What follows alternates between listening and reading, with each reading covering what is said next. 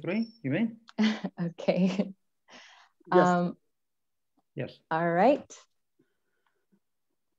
Okay, good afternoon, everybody. Good afternoon to our distinguished speakers, guests, GBF members, uh, students, teachers from all over the world. It is my great pleasure that I welcome all our eminent speakers and guests to this international seminar, the, the first in collaboration with the Regional Center for Education and Training, uh, CRMEF Rabat. I will be your moderator. My name is Asma Abu Faraj. I am a young leader and GB and a member of GBF. I am also a certified teacher of English. And I'm more excited to be uh, with you today for this webinar. So our second speaker is uh, Ms. Najwa. Can you please introduce yourself? Hello, everyone. So my name is Najwa Laribi. I am a certified teacher of English. I'm also a master's student in applied linguistic English language teaching at the Faculty of Education Sciences in Rabat, Morocco. And also I am one of GBF Young Leaders. And Asma and I will be moderating today's webinar. Thank Great. you, Asma. Nice to meet you again.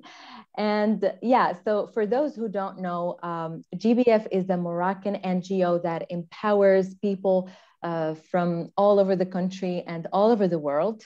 Um, our main focus is to help women, to help youth and people in general flourish. And we have been focused or focusing our works lately on education as it is one of the issues that we think uh, need to be addressed with the world's current state. Our entire team has worked diligently to establish projects and, and, and create them and um, make sure uh, to offer great opportunities for growth, uh, leadership, and success. Uh, in order to learn more about our TEFL programs, about our ELT programs, or youth coaching, uh, please visit our Facebook page, Global Bus Foundation, and be on time every Friday for our ELT program, which is designed to help us contribute to the future of teaching and education. Today, we have brought together leading scholars, academics, and researchers in the field of education from the entire world. And um, we would like uh, first to give the floor to Mr. Slimani for a special word. Uh, thank you for being with us. Thank you very much, Asma. Um, it's my pleasure to welcome uh, first our um, guests, Joanna uh, from uh, Poland, George from uh, Greece, and Jenny from United States of America. Um, I am the, um, the, the, head of the Department of English at the uh, Regional Training Center in Rabat. And this is my first participation in this webinar and I hope um, everyone will find it interesting and uh, everybody is will learn and we will learn also from from each other and then uh, um, I hope you will enjoy it. Thank you so much, uh, Mr. Slimani. And now, um, yes, I would like to introduce our first speaker for today, who is Mr. Uh, Kokolas. Uh, Mr. Kokolas always fascinated us with brilliant presentations uh, and today is no exception. So Mr. Kokolas has been working as an academic director and teacher trainer for Express Publishing for the last 20 years. He is a certified level five TEFL teacher and a certified advanced uh, neuro-language coach. He currently studies uh, positive psychology and how we can merge it with ELT. And uh, he has also delivered several seminars, um, conferences, uh, and talks in the entire world.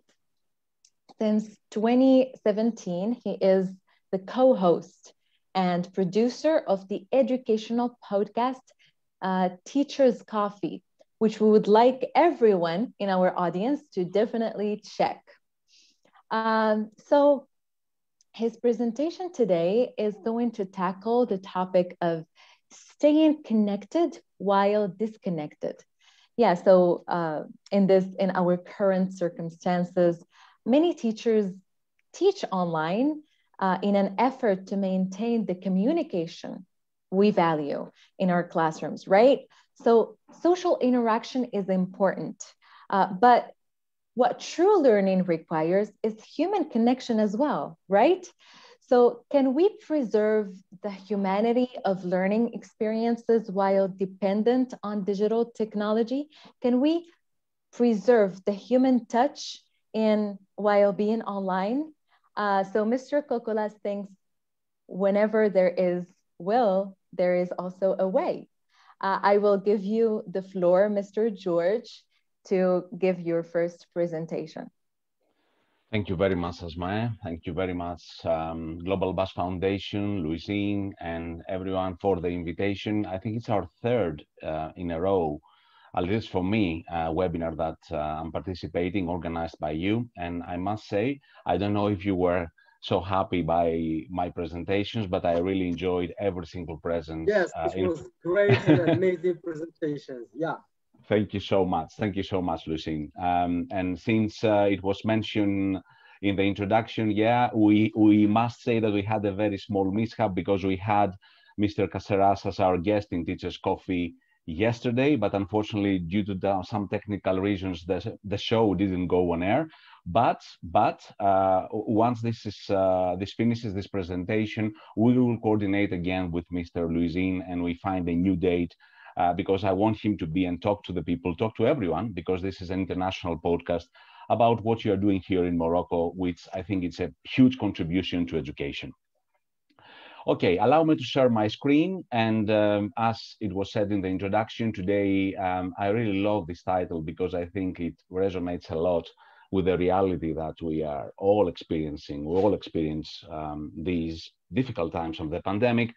But of course, I think one of the major things that we should have in mind is that we need to embrace this disconnection. And uh, this is the first thing that we need to recognize and acknowledge. And I think this is the first step that we need to take in every possible, uh, for every possible psychological state, and then try to improve it, try to do something about it, which is staying connected while disconnected. I will start with the basics uh, because uh, I must say, I have to confess that I have been delivering this presentation for over one year now. And in the beginning, obviously, it was completely unknown for everybody. Everyone was testing the water, learning the ropes. But now uh, I'm sure that you are all familiar with the online platforms that they are um, here and there. There are so many more. Um, the, you almost get like choice fatigue when you try to choose which one of the platforms to use for your own students. However, I take for granted that right now that's a really great gain that we are familiar with all the online platforms that exist, no matter if it's Skype, Zoom, Viber, WhatsApp, whatever. And of course, regarding content, uh, apart from maybe the collaboration that you may have with certain publishers, uh, there are so many different educational programs right now and software that you can integrate in your teaching or simply use them to spice it up or um, entirely rely on them for teaching online. Some of them you can see right now on the screen. I, am sure that there's so many others uh, there. However, my point is not that. I will start becoming more specific. The point is, how do I maintain, if I am allowed to say, emotional connection with my learner when I'm not there, when, when I'm not next to him, when I'm not next to her, when we don't have any kind of presence. And uh, usually this is an overwhelming statement because I think the majority of the time we were taken aback and we were constantly puzzled. How is it going to happen now that we are distant? We felt that this might be a handicap.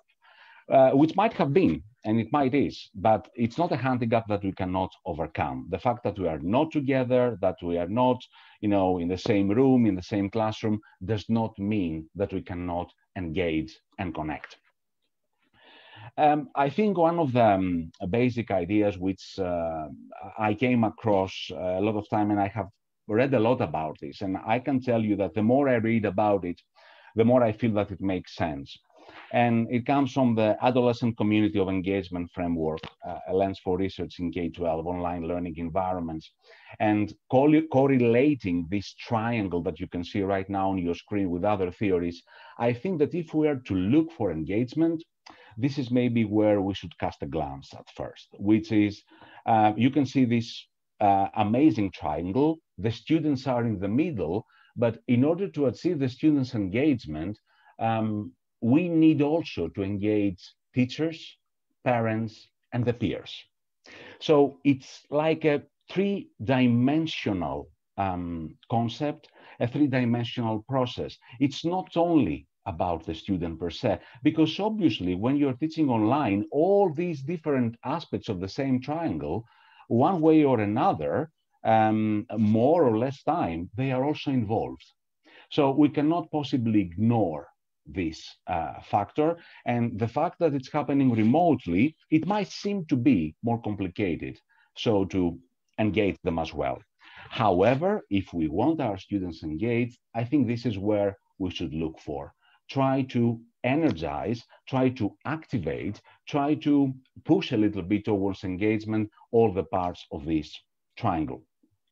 And that's exactly what it is mentioned in this uh, code the three key players in any online learning experience, teacher, parents, and peers. Now, let's start, you know, um, having a look at these groups one by one. Teachers, which means us. First of all, you need to realize that it's okay to miss our normal. As I said in the beginning, the first step in any kind of psychological handicap is to embrace it, is to acknowledge. It's not about the circumstances. It's, it's a matter of perspective. And this might sound naive or perspective, but I think, uh, or simplistic, but it's a first step towards realization and towards dealing with the problem. The second one, I think, uh, not because I'm currently studying positive psychology, because this is not about that exactly, but I think we should give it a different, more positive twist. And I dare say that right now we are creating history. We are creating history because from what we here from different countries, there might be a light at the end of the tunnel. If it's not going to be this September or October, it might be, you know, after six or seven months for the majority of the countries due to vaccination, of course. And when this is going to be over and there's going to be a new reality, we can claim and we can say, and we can even brag about it, that we have created history. We, we were literally pushed into this new reality. We had to design distant learning plans we have to adapt our teaching rapidly. We need to react immediately. And I think we did it because now even, you know, the most, allow me to say, computer illiterate teacher right now does know the basics and how uh, he or she could deliver a successful lesson. And of course, we should not forget there is another positive side. We're still teaching. Nothing has changed. Um, uh, social emotional emotional skills skills can still be communicated. Um, uh, the fact that uh, we are doing this through a computer does not mean that uh, we still don't have flexible thinking and perseverance in what we are doing. And of course we can always always show empathy and compassion which are parts of also the face-to-face -face teaching.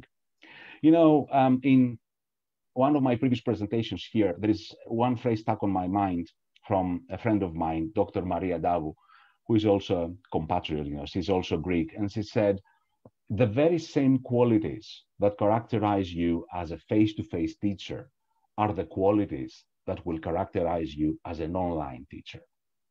And, you know, uh, this is simply, uh, I think, um, an absolute true statement that we should never forget.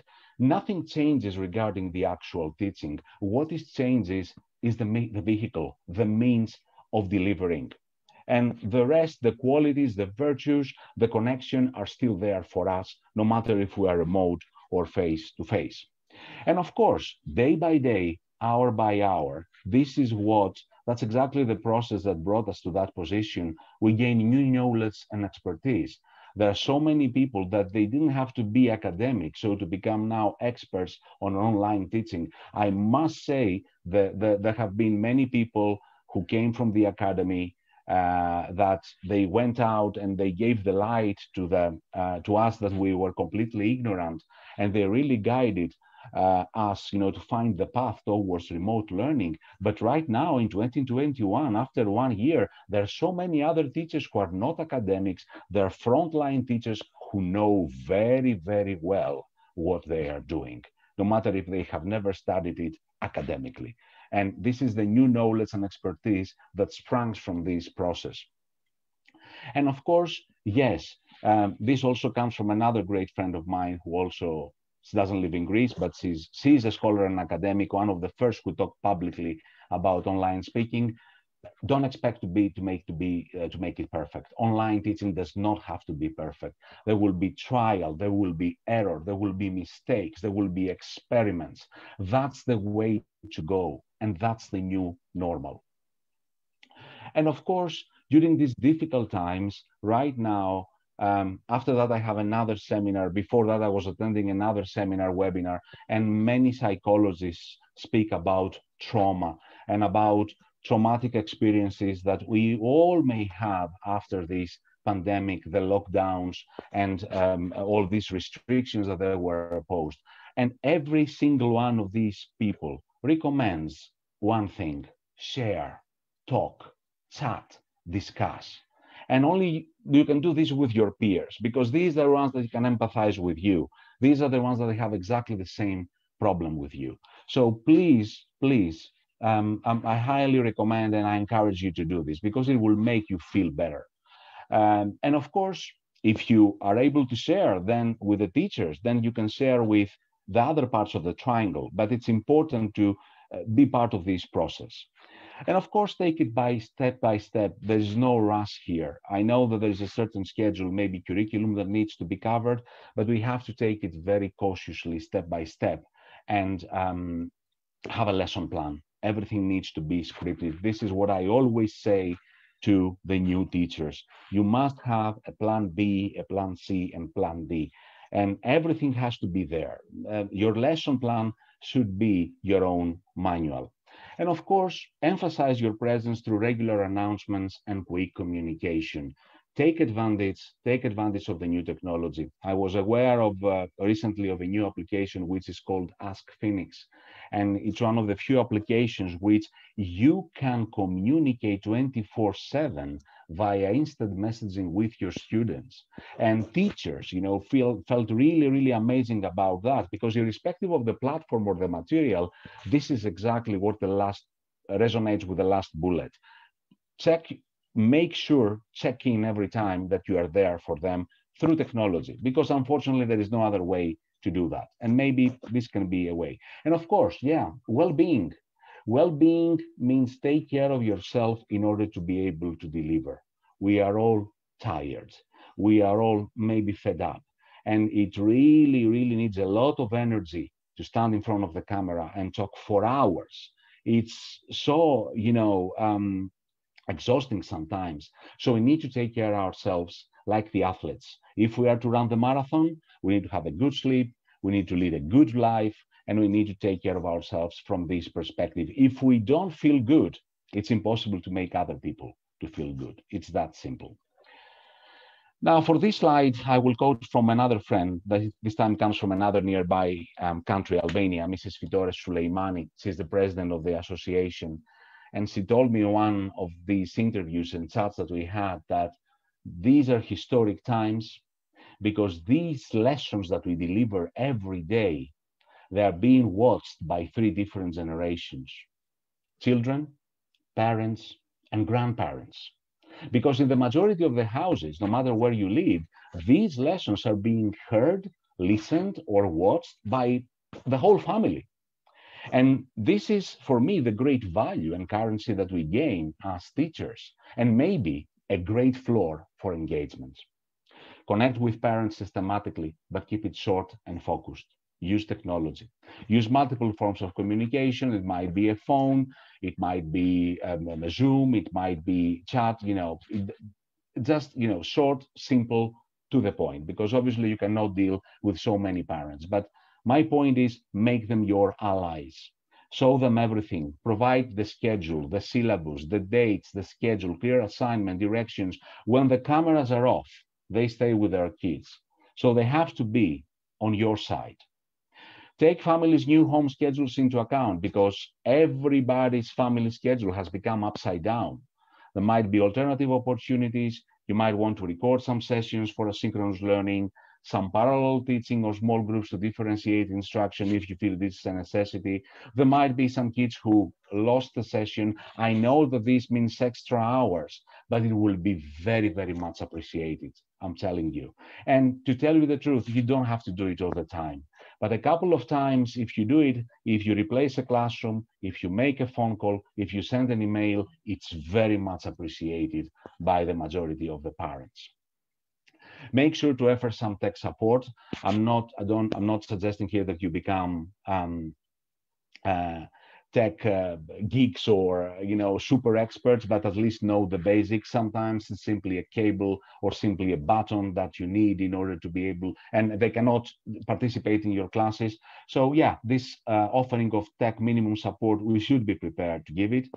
Uh, and um, when I say make them your allies, you need to ask for feedback, survey them.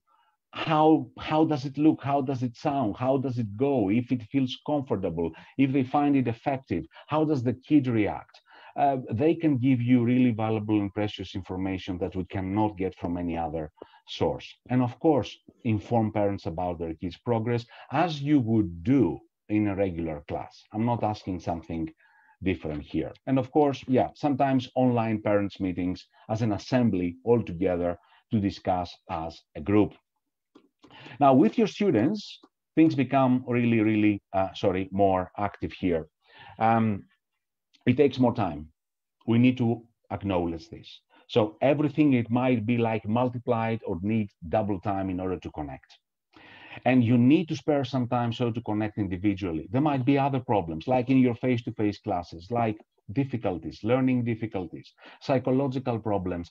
This is a pandemic. This has never occurred in humanity before. Don't expect any person, any person to be like he or she used to be before this. It needs support. And as educators, we need to be able to provide this student-led tech support in case there is troubleshooting or the basics. Sometimes, again, as I said, there might be a detail. And of course, sharing. Never think that there is not enough things to do when you are online. The brain in the introduction, uh, it was mentioned that I'm also a neuro-language coach. This is what we do as neuro-language coaches. We create brain-friendly environments. The first thing that we learn is that the brain loves what is real and personal. So if I'm asking you to talk to me about your talents, hobbies, interests, if the floor is always over to you, the brain gets in a friendlier mode in case there is some kind of reaction to online. So that's a nice trick. Always give them the floor. Uh, and um, of course, we should be the model. We should establish the welcome. Welcome in the, in the beginning, you know, um, is uh, the half of everything. That's what the ancient Greeks used to say. If you have a good start, a flying start, everything rolls really nice and smoothly after that. So arrive early, open the space, greet everyone by name as they join in, welcome image on display to anchor senses sometimes. And, uh, you know, um, for primary learners, I usually this like a poster. And actually, to tell you the truth, this is my wife. She did that. You know, she used it in one of her classes, and I loved this. She isolated this part of the poster and became one of her students' favorite, uh, just for the welcoming. And if you want some more, go and visit the National Gallery um, website. Uh, you can find different paintings for backdrops for your video calls and um, conferences. You know, this simple activity gave me like food and lesson for three entire sessions because they were really discussing the backgrounds in English. I, I allowed some personal space, some personal interest, and it, you know, helped the brain feel friendlier towards the lesson because they created their own space and they put this personal touch. Um, yes, Mr. Kokolas, I just wanted to let you know that you have five more minutes. Thank you so much. Icebreakers can be can be a part of this, a daily mood check-in or stretching out Yes, it has to be done. Take a big breath, like we see in yoga classes. It's necessary. It's necessary to be done. Uh, that's another nice activity which comes from the Jimmy Fallon show, um, the Tonight Show. It's called um, uh, A Box of Lies. Um, you describe the object, and the students try to guess whether you are telling the truth or not. It's really, really funny. And I have practiced it many times online, and it really works when we are stuck or when we want to encourage a little bit of um, uh, speaking. And uh, in terms of more tips regarding engagement, you know, this is the constant. In the beginning, it was like an argument and a debate because many teachers were coming to me and saying, and what about tests? How are we're going to examine them? Forget about this. This is a, a crisis. This is this is a, a, unique situation, as I was told I told you before. evaluation uh, should come through assessment. It has to be more loose. So there are so many other ways. Flipped classroom, that's the buzzword, and I could not encourage more the students to do it. You give a stimuli for outside the classroom, they bring it in, you discuss it. That's an entire talk. I don't have time to elaborate more. A, a lot of feedback. You know, I have also here in, in my home, everyone has his own room. We are four people, and during the morning, we all have conferences or online lessons. So I'm listening to my daughter's uh, lesson that they're having in Greek. And sometimes, you know, I, I, I, stepped in and I congratulated the teacher because she was doing constantly exactly this feedback all the time, addressing. Nobody, nobody was staying idle. The whole lesson was scripted and she could evaluate, um, address all the time, full of activities, alternatives, um, and it was a full energizing lesson online. The kids were really astonished by it and they were fully engaged. I have seen this, but it's all about the teacher. And of course, gamification can be a great contributor because this is the technology environment that favors this. And by giving game prizes, missions, clans, leaderboards, um, you can definitely um, motivate them more. Presentation skills in front of the camera, I highly encourage as well. Or a task like this, choose a piece of music, draw a picture, present it to the class as well, can be like, you know, having a movie. And these are screenshots from uh, some uh, gamification tools for some, from some platforms. Simply by sending digital rewards, you motivate them. And if you are using a platform, you can get immediate access even to the scores, how many attempts. So those of you who really testing means a lot, that can be another idea. Now, um, the last slide almost for today, um, create challenging educational experiences that enrich and extend their abilities, live chats, fun through applications, storytelling, role plays, improvisations. This is another interesting um, site, Studio Ghibli, where you can get a lot of backgrounds for story, storytelling. I had so many different sessions only discussing this picture and this picture and this picture. And here you can see also the lesson plan, start the story, have random students at the text line, once upon a time, select the students randomly. It can go on for at least 20 minutes and it's pure, pure engagement. This is an amazing Studio Ghibli, if I'm pronouncing correctly. I think they are Korean, and they have these amazing things. Or the newsroom, that's another uh, activity uh, where they can present something they think is important for sharing in the classroom. The news at six, uh, different situations uh, that you can come up. And the most important thing also mind the gap because there might be cases where computer is not available and we should not exclude these students. Paper and pencil tasks and activity packs, read stories, do activities, make a reading log, write, draw their own stories or comic stories, work on projects. Pen pals can really work through email as well, or even, you know, with simple pen and paper and update parents and students via phone calls daily. I know that there might be cases that you face this and it's not that easy, but these kids cannot be excluded just because they cannot afford to buy a computer. And this might be a way that you need to keep um, uh, and make a pass. And my last slide, which um, it's what I encourage every single kid today to do. And I always say, if you want to become famous and rich and make a lot of money, write a journal of this period. Make it positive. Keep a journal every day.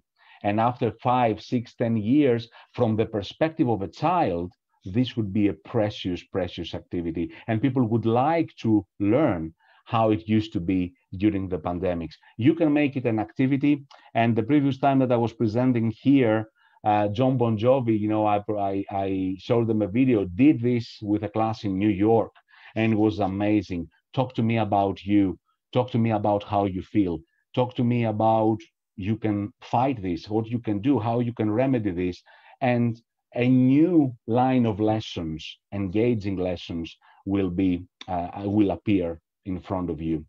Let alone all the rest of the tips that we mentioned today. And I hope that you found useful. Thank you. Well, thank you uh, so much, Mr. Uh, Kokolas, for your very interesting presentation. It seems that everyone in the comments section uh, want to express their appreciation for your inspiring um, words and uh, and you have you have two questions um, from Hajar and Khadija. All right, so the first one is um, from Khadija. She said that it is known that humans are social beings. We love to interact through physical sensations. So, how can we compensate this part in, in online classes for students? Well, physical sensation is even, you know, I'm going to, to say something that the first presenter that came on this earth came from this country, and he was Omer. Omer didn't have a video. He didn't have a chat. He didn't have a computer. He had his harp and his voice, and he was mesmerizing the people. So yeah, we still have this power of connection, uh, even you know through uh, different technological means. It's all about you know the, the the power of the teacher. If you feel it, if you know how can do it, if you are very well prepared, this will be transmitted to the other side of the computer.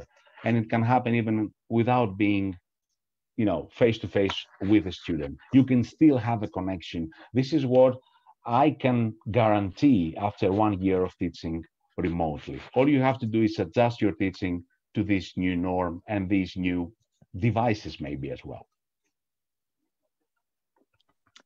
Thank you. Uh, the second question is, how should parents and peers be engaged in online teaching and learning?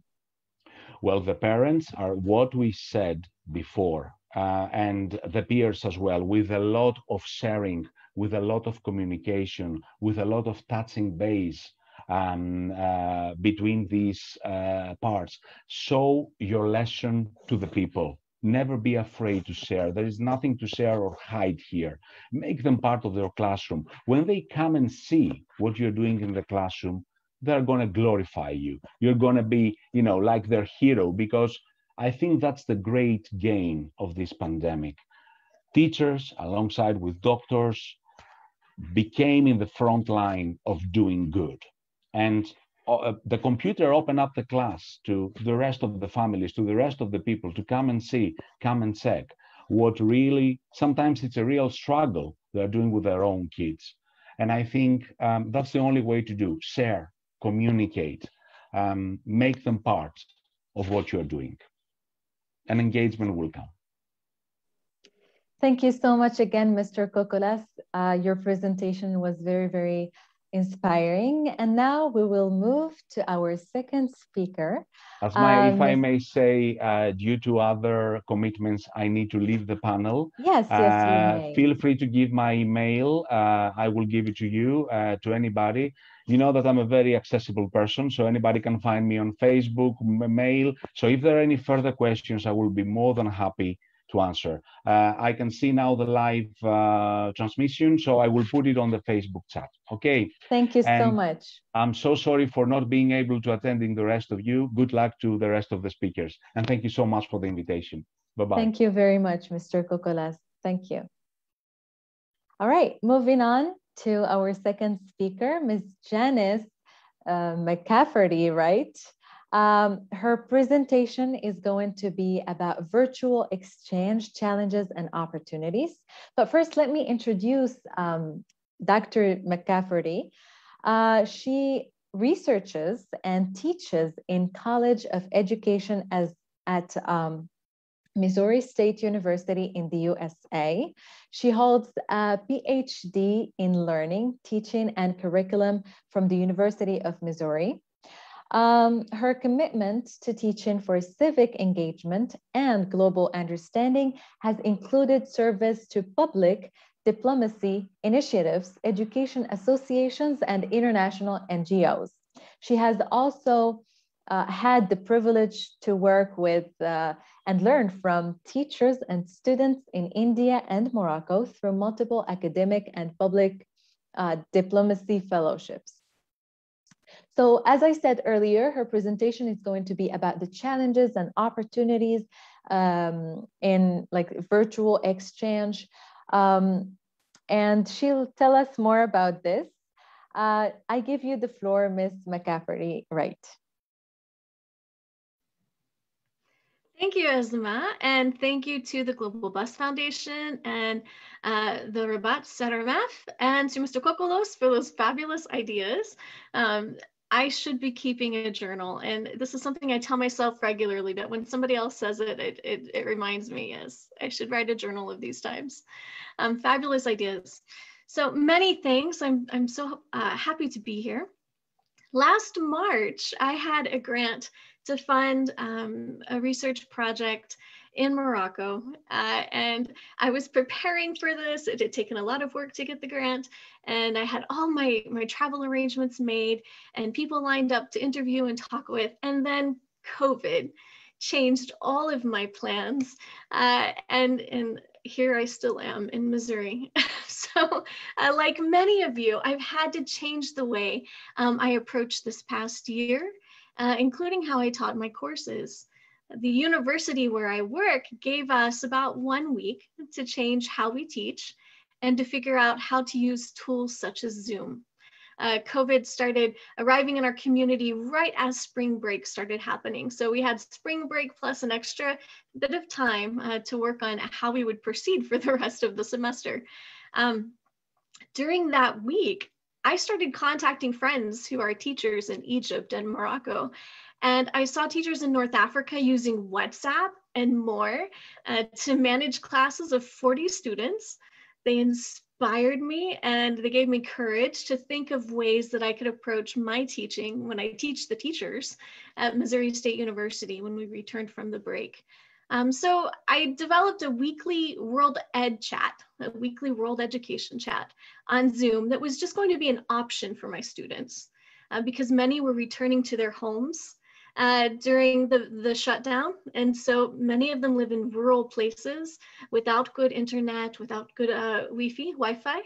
So um, I started preparing some optional activities they could engage with, with if they have the technology. Uh, so we started these uh, weekly World Ed chats on Zoom so that we can learn from each other and learn how teachers in other countries were uh, facing the challenges uh, that the pandemic was bringing to us. Um, and just learn about new ways of learning and teaching and, and think differently about what we were doing. So this was a terribly disruptive time. Uh, so uh, I began to think of, of, distance learning, this new phrase that everybody was using, distance learning. And I began to think of the word distance within that and, and thinking about how we had many distances to unlearn. So my students were responding very well to the World Ed, Chats. And I could see that despite our situation with distance learning, we were unlearning the distances that we were taught. So when I speak of unlearning distances, um, I'm referring to the ways students in the United States and everywhere else uh, have been mistaught or miseducated to think about the other through stereotypes. And teacher trainees at Missouri State University are not, not any different from those of us who have been taught stereotypes um, about the other. And so they enter their courses with people who share similar cultural backgrounds to themselves. So as they're becoming teachers, they are all together as a group. Most of them are white. Um, most of them are women. Many of them come from rural places. They come from families who are working class families. And many of them are uh, the first in their family to go to university. So uh, their educations in primary and secondary schools when they were small, um, it included a lot of nationalistic narratives of citizenship. Uh, your nation first, your nation is the best, all of these narratives that the children are taught, um, but maybe more here. um, there was an exclusion of Arab and Muslim peoples from their curriculum. And while we have the exclusion of, of, of, of, Muslim peoples and, and North Africa and the Middle East in their curriculum, we also have these portrayals on the media that were very negative. Um, so all kinds of stereotypes. Uh, additionally, students becoming teachers, the people becoming teachers right now were babies during 9-11. They have spent their entire lives living, learning, growing in a, a global, never ending, uh, facilitated by the United States war on terror.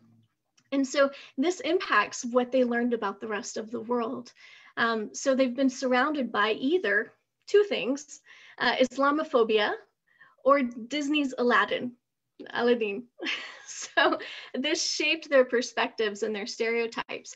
And we really hoped to disrupt uh, these dangerous stereotypes uh, and to unlearn the distances that we were taught through them.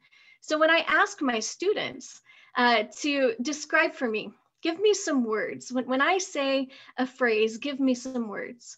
So when I say uh, the Middle East and North Africa, uh, this is what my students describe. Let me share it with you. Here we go. Can you see? they describe Aladdin, or Aladdin. They describe deserts. And they think there's, you know, war, conflict, very, very violent things. And maybe they have images of, of Syria. I don't, it's like this generalized image that they get of danger, of threat. Uh, and so this is a problem if they're going to become teachers because we need uh, them to be able to teach their students differently than they were taught. So um, I, I, was thinking about this when heading into uh, the new semester uh, and what we were doing or for the rest of the semester and then thinking ahead like from here on out how I need to teach the teachers differently uh, than what they were taught. So of course, uh, my, my students are going to become teachers. So if we do not correct the mistakes, they will be teaching a whole new generation the same mistakes. So um, the chats, we the World Ed chats, we met for one hour a week uh, for about eight weeks, maybe nine. Um, it was originally planned for long or for a shorter time, but people kept asking more and more, please. So I added some more and I worked beyond uh, the semester. And in addition to recruiting uh, participants, my role uh, in the World Ed chats was just to facilitate them. People would log in, uh, I would welcome them, um, I would introduce three prompts. One would be connected to like an icebreaker, uh, their personal identities, their experiences. Um, the next prompt would be a discussion question related to education uh, and or culture. And then finally, there would be a request for the group, the small breakout room groups, to craft a statement, something that they wish to share with the large group. So I would put uh, people into breakout rooms for about half of the, the session for the World Ed chats. Uh, and then they would return to the whole group, they would report out, and we would brainstorm possible questions for future exchanges. Uh, so uh, this uh, happened for quite some time. Let me share one of the ways that we promoted it. We used Twitter, we used Facebook.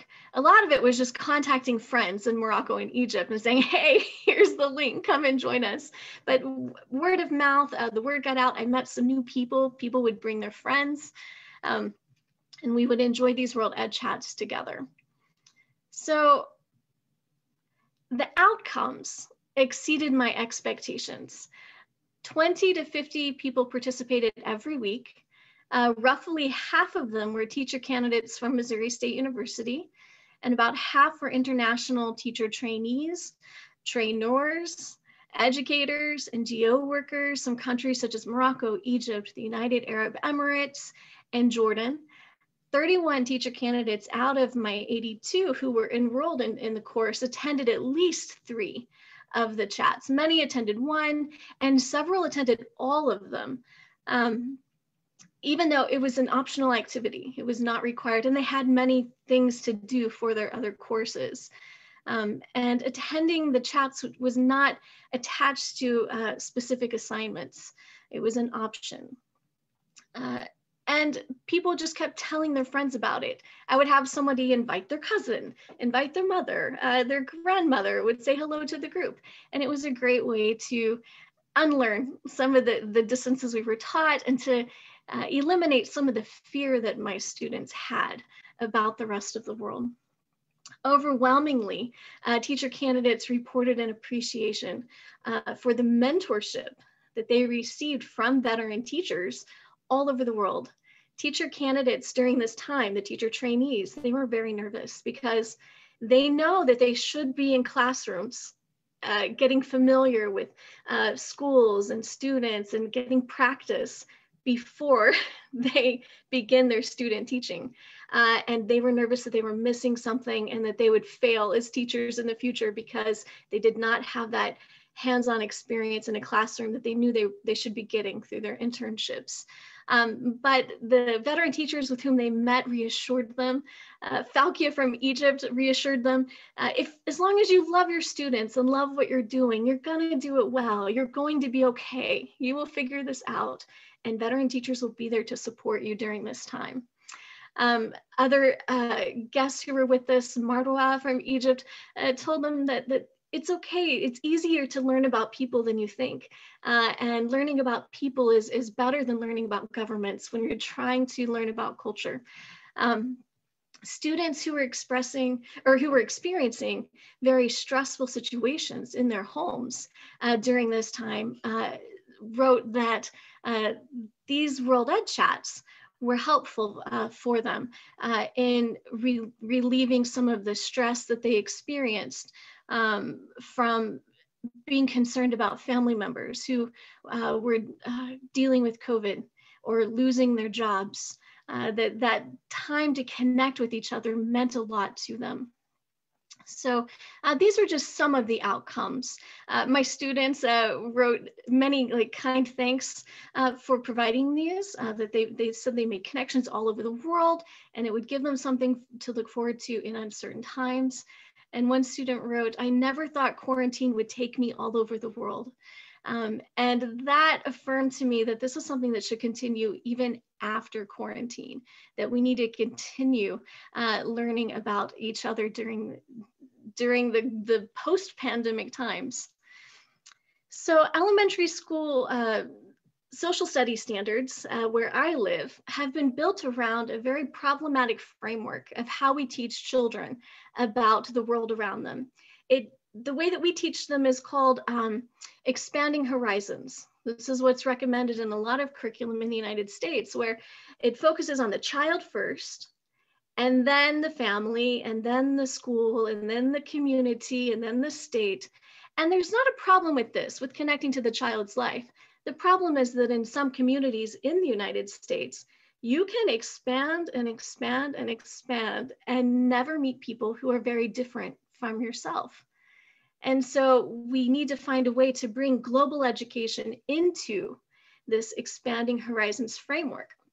So this is something that I'm working uh, with, uh, with my students um, so that we can expand global horizons and connect to um, our students' cultures and our students' lives uh, and the things that they bring to their education. So um, some of the things that, uh, that I encourage my students to think about is that they think they don't think of themselves as global citizens and I'm trying to shift the ways that they think about that because um, even if they don't think of themselves as global citizens, or citizens of the world, they are how they vote, how they shop, how they teach their children.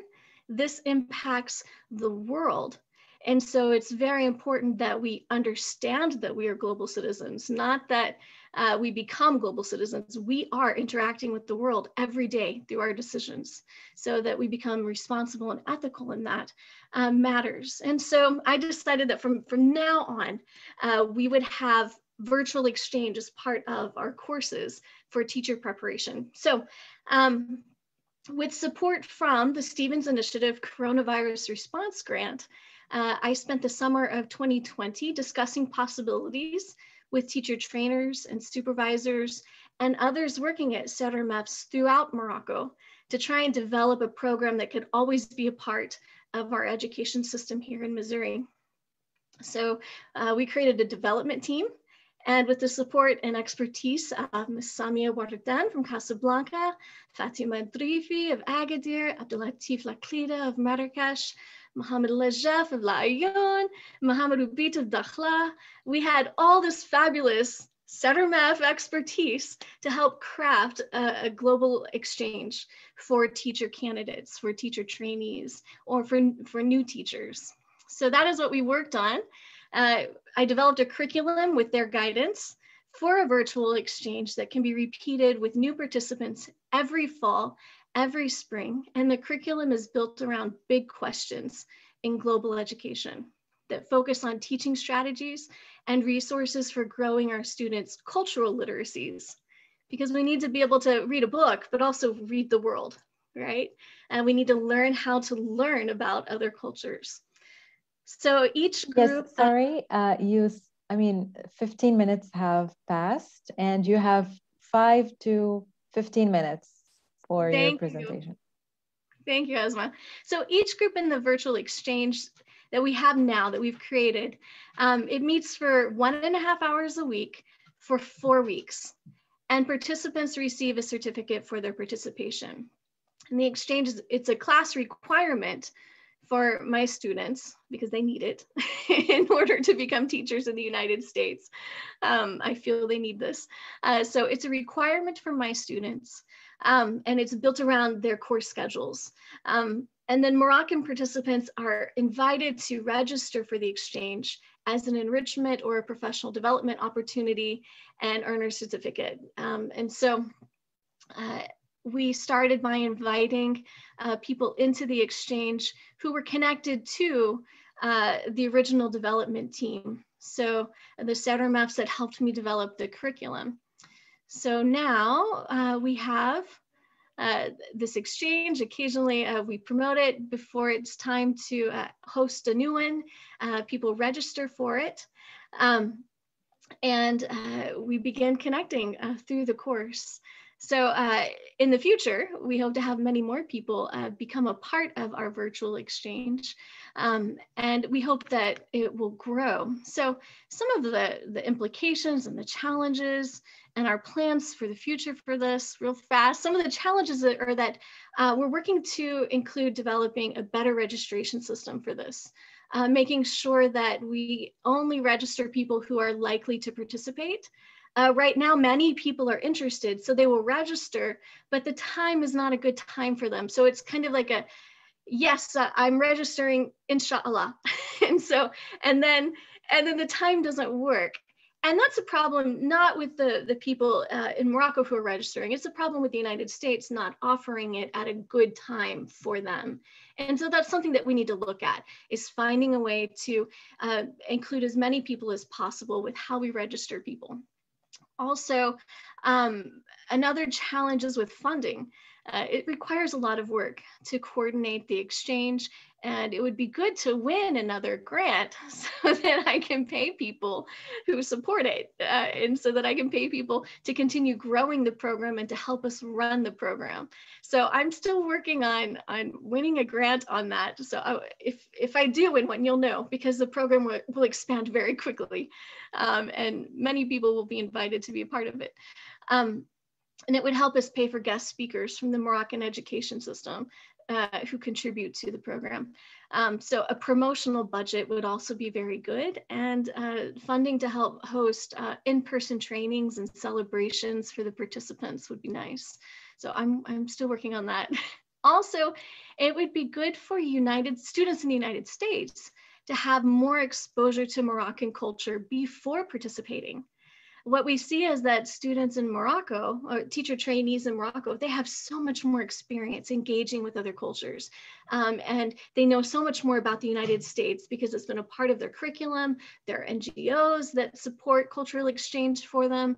Um, school, the media, public diplomacy programs such as American Centers and Access and more they've just been exposed to more than my students have. So I would like to eventually um, be able to host some sort of program uh, where uh, I can fund somebody here in Missouri from Morocco uh, who could help facilitate and guide a language table or a culture table, learning table, something where we could meet once a week and enjoy playing with culture and enjoy in, in a, a, fun way getting to know another culture. So that is one uh, goal that uh, I have for the program. Um, another uh, would be that um, we have something built into the program for when people are done, that they can, there's a platform for them to coordinate their own exchanges. So if I have a, a teacher trainee who becomes a teacher and they're teaching fifth grade students or fourth grade students. And there's a, a teacher of English in Morocco uh, and they're working on similar content in some way, or there, there can be crossover, they can coordinate an, an exchange between their classes. So that's another step for the future. So uh, one unexpected thing that we have seen is that this cultural exchange, it's not just between uh, teacher trainees in the United States and Morocco. It's, it's for new and, and future teachers in Morocco to exchange with each other. Uh, for example, in sharing their cultures with US students, uh, Hassani, Amazigh, uh, Ghibli students, they're sharing what they learn uh, with each other and they're sharing their own cultures with each other. Uh, and so I see some interesting intercultural interactions happening across Morocco between different cultures. And it shows to our students just how culturally and ethnically diverse North Africa is. So that's been a, a, a fun component uh, to learn more about Hassani culture and Amazigh culture uh, through this and to watch them teach each other. um, uh, we began by recruiting new and future Moroccan teachers uh, through the development team's classes and connections. But next year, we hope to grow the program a bit to invite future teachers of English from any CRMEF in Morocco. Um, and because of scheduling conflicts, not everybody will be able to participate, but we hope that everybody who wants to join will be able to either in the fall or in the spring of next year. And some years, uh, it's possible that we will even offer a summer session uh, so that it will be easier for new teachers to join with their schedules. So years from now, we hope to invite other US uh, colleges of education into the exchange. It would be great, especially if we could um, partner with a historic Black institution Hispanic uh, universities, Native American colleges, uh, we need to bring more diversity from the United States into uh, this exchange and make sure that virtual exchange that we take an equitable approach to access and accessing opportunities through virtual exchange. So this is where we're at right now. Uh, let's see how the program grows. Um, but I'm very excited about the work that we're doing and I'm happy to answer any questions about it. Well, thank you so much, uh, Ms. Janice. Um, your ideas were very, very inspiring, and thank you for tackling such a great topic. Uh, we are very grateful for the time and effort that you took to share your thoughts with us on this issue. Um, the audience was actually very, very interested uh, as well.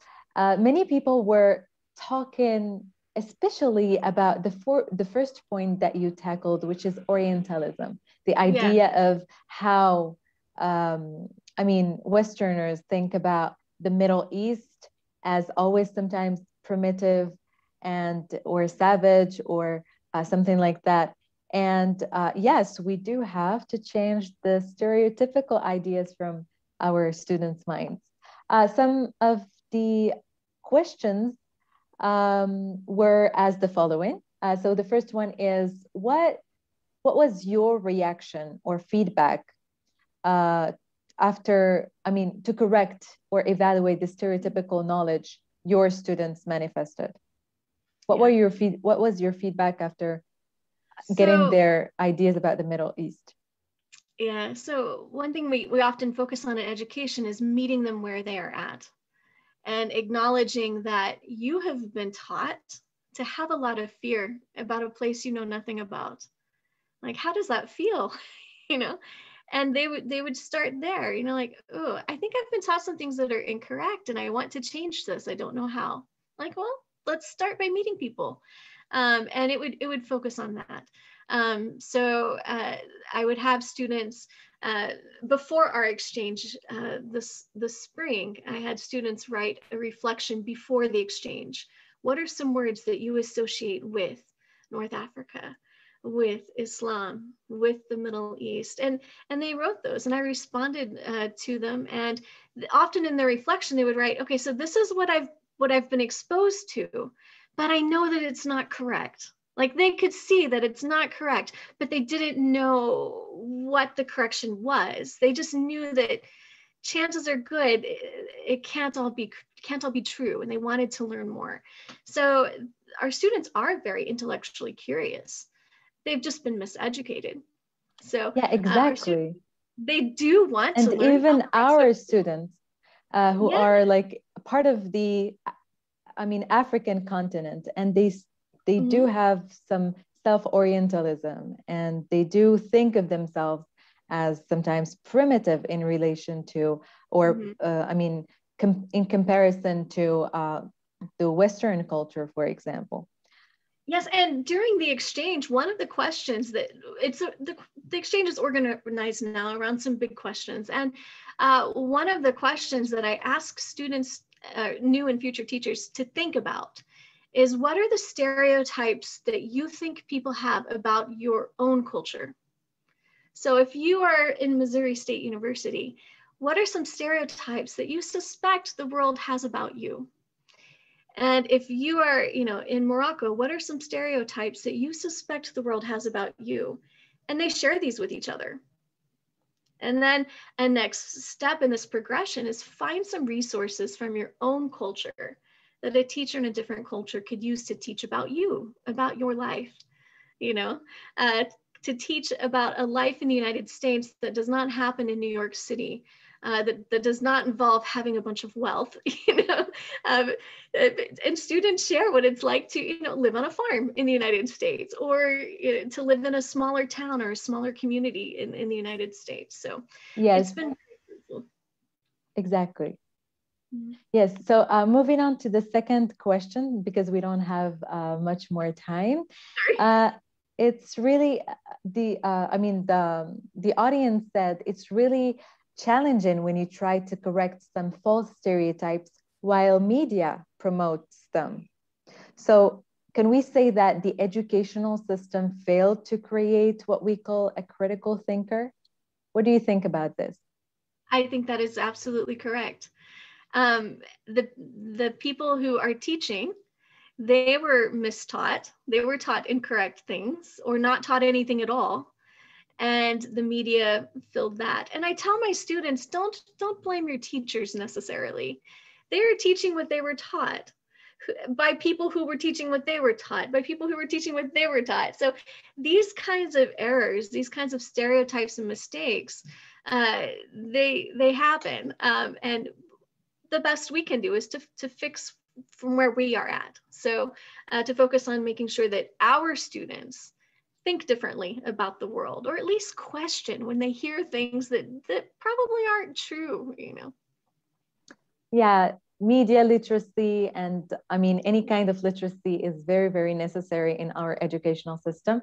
Thank you so much miss Jennice. Um, i mean we still have some questions but we don't have much time for them. But i would like to thank you very very much for your uh, talk and your presentation. It was amazing And now I guess we'll move to our next speaker. Uh, Najwa, can you please introduce our next speaker? Hi again. Of course, Asma, thank you for moderating the first half of this webinar. And thank you, Mrs. Jennice and Mr. Uh, Kokolas. Um, you have been like sharing some interesting ideas and I'm pretty sure our audience or our prospective teachers who are watching the live stream on Facebook, I'm sure they'll great deal from your experience. Um, so now we are going to move to our next presenter from Morocco. Mr. Jamal Eddine Slimani, are you with us? So um, I'm going to introduce him to our audience. So Mr. Jamal Eddine Slimani is currently an associate professor, an English teacher trainer. All right, all right, Mr. Jamal. Um, so um, Dr. Jamal Eddine Slimani is currently an associate professor. He's also an English teacher trainer and department head at the regional center from uh, for the professions of education and training in Rabat, Morocco. He earned his doctorate in alternative and augmentative communication from Hassan II University in Mohammedia, Morocco Mr. Slimani graduated from Indiana University of Pennsylvania with a master's degree in speech and human communication studies. He has presented several papers at MATE, Moroccan Association in Teachers of English, annual conferences on topics such as fostering students, fostering students' critical thinking skills, process writing, action research, and teachers' perceptions of students with disabilities. He has also given dozens of workshops for English teachers on online collaborative projects and for teachers of other subjects on the use of ICT in teaching. Professor Slimani has been a member of Moroccan Education and Resource Network um, since 2004 and of International Education and Resource Network since 2003. He has presented papers at the latter several annual conferences in Egypt, Morocco, Canada, and Qatar. He has also co-facilitated um, several online courses under the Stevens Virtual Exchange Initiative and the Bridge Program. So far, four of Dr. Slimani's articles have been published, three of them three of them in Morocco and one in USA. The themes of his articles revolve around online collaborative projects, assessment of 21st century skills, disability, and symbolic violence. Mr. Slimani, your biography is very inspiring. You've got an amazing career. So um, in his presentation, Mr. Slimani raises an interesting question, which, which is are our CR, CRMEF graduates ready to, um, to teach students with disabilities?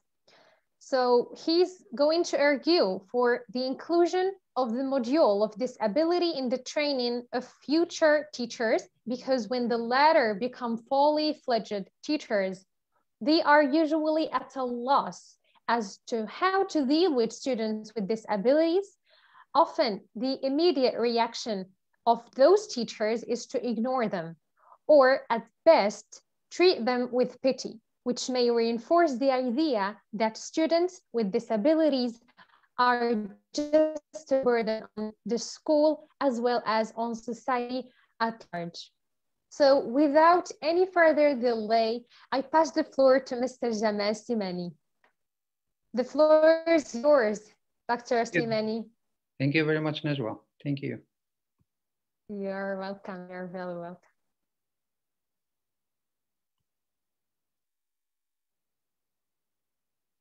Can you see my screen? Yes, we can. All right. All right, this is the outline of my presentation. I will start with an introduction, then we'll talk about attitudes um, of people in general toward people with disabilities. And then we will talk about the experiences of our CRMEF trainees uh, with disability. Um, And here I refer to the CRMEF trainees. Uh, by the way, for our, for our foreign guests, um, maybe if they don't know what CRMEF stands for, it stands, it's basically a regional training, teacher training center. Uh, we teach uh, trainees for one year, and then when they graduate, they are ready uh, to take classes and to be um, official teachers.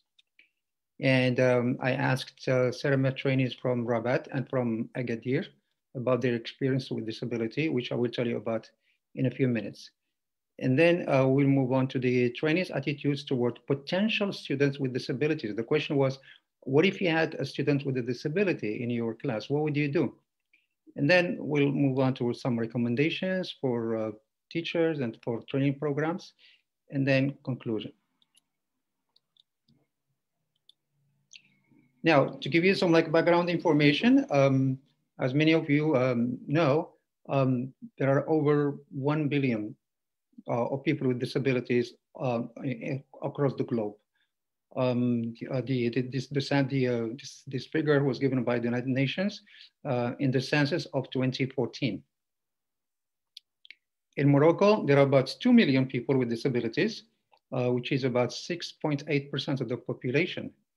And this, of course, figure also was given by, was I retrieved this, or I got this from the website of the Ministry of Solidarity, Women, Family, and Social Development. Um, as you can see, 6.8% um, um, is, is not a small number. Um, it, and also in, um,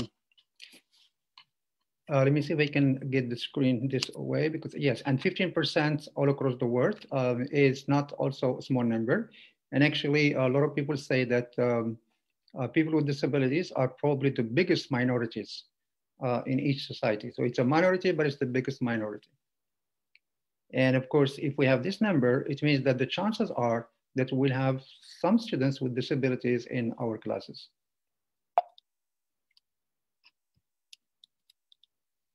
Okay, now attitudes uh, toward people with disabilities. Once upon a time, in the past, students with uh, people with disabilities in general were seen as a curse of God, possessed by demons, pitiable creatures and utterly miserable. So you can see how negative, you know, the, the attitudes were and how negative the, the, the phrases or the words uh, that were used to describe them. And the, these people, uh, people with disabilities were um, isolated in asylums or in almshouses along with the criminal and the poor.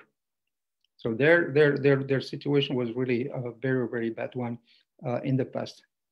But today, did the, did the situation change? Yes, yes, it did.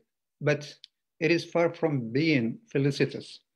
Um, today, some, even there are some people who still think that people with disabilities have different personality traits, they have different moral characteristics, and they have different social abilities. And um, uh, one, one, of the, one of the scholars um, who specializes in um, disability says, uh, said no further research is needed to show that it is socially disadvantageous to be physically handicapped in initial social encounters. The disadvantage is powerful and pervasive.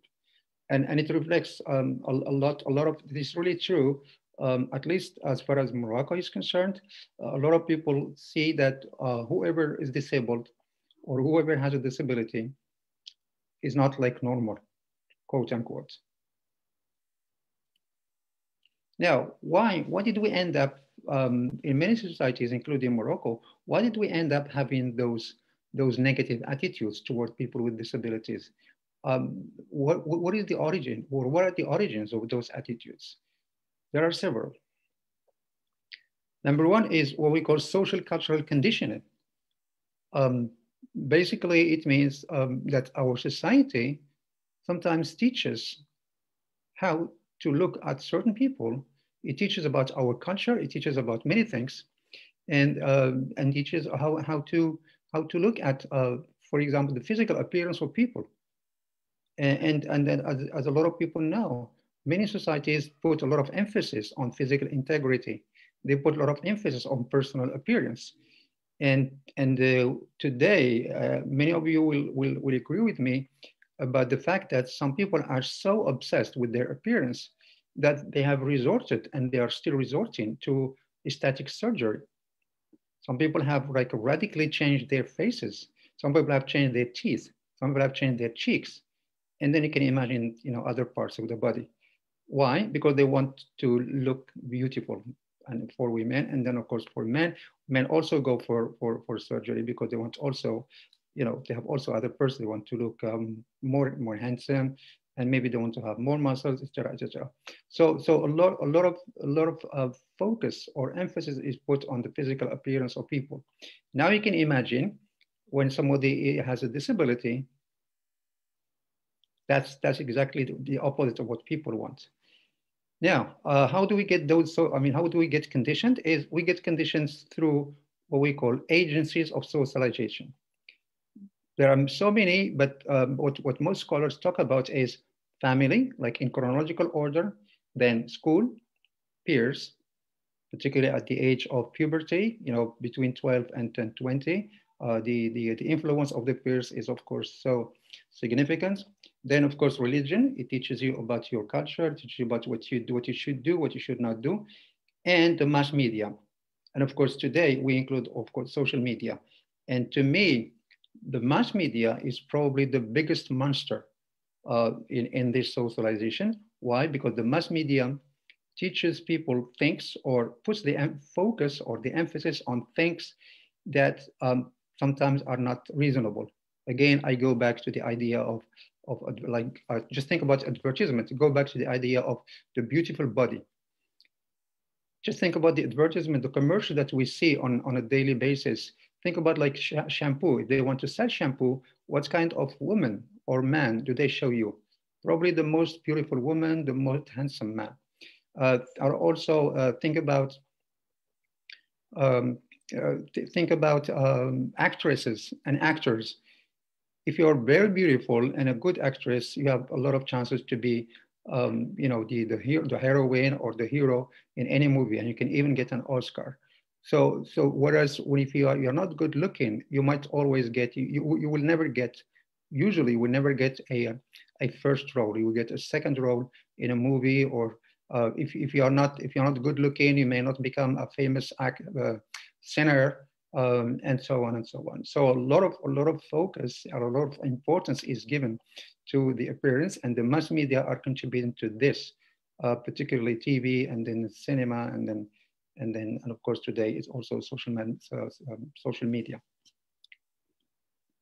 Then uh, the other the uh, another um, origin of negative attitudes is what we call psychodynamic factors, like like mourning.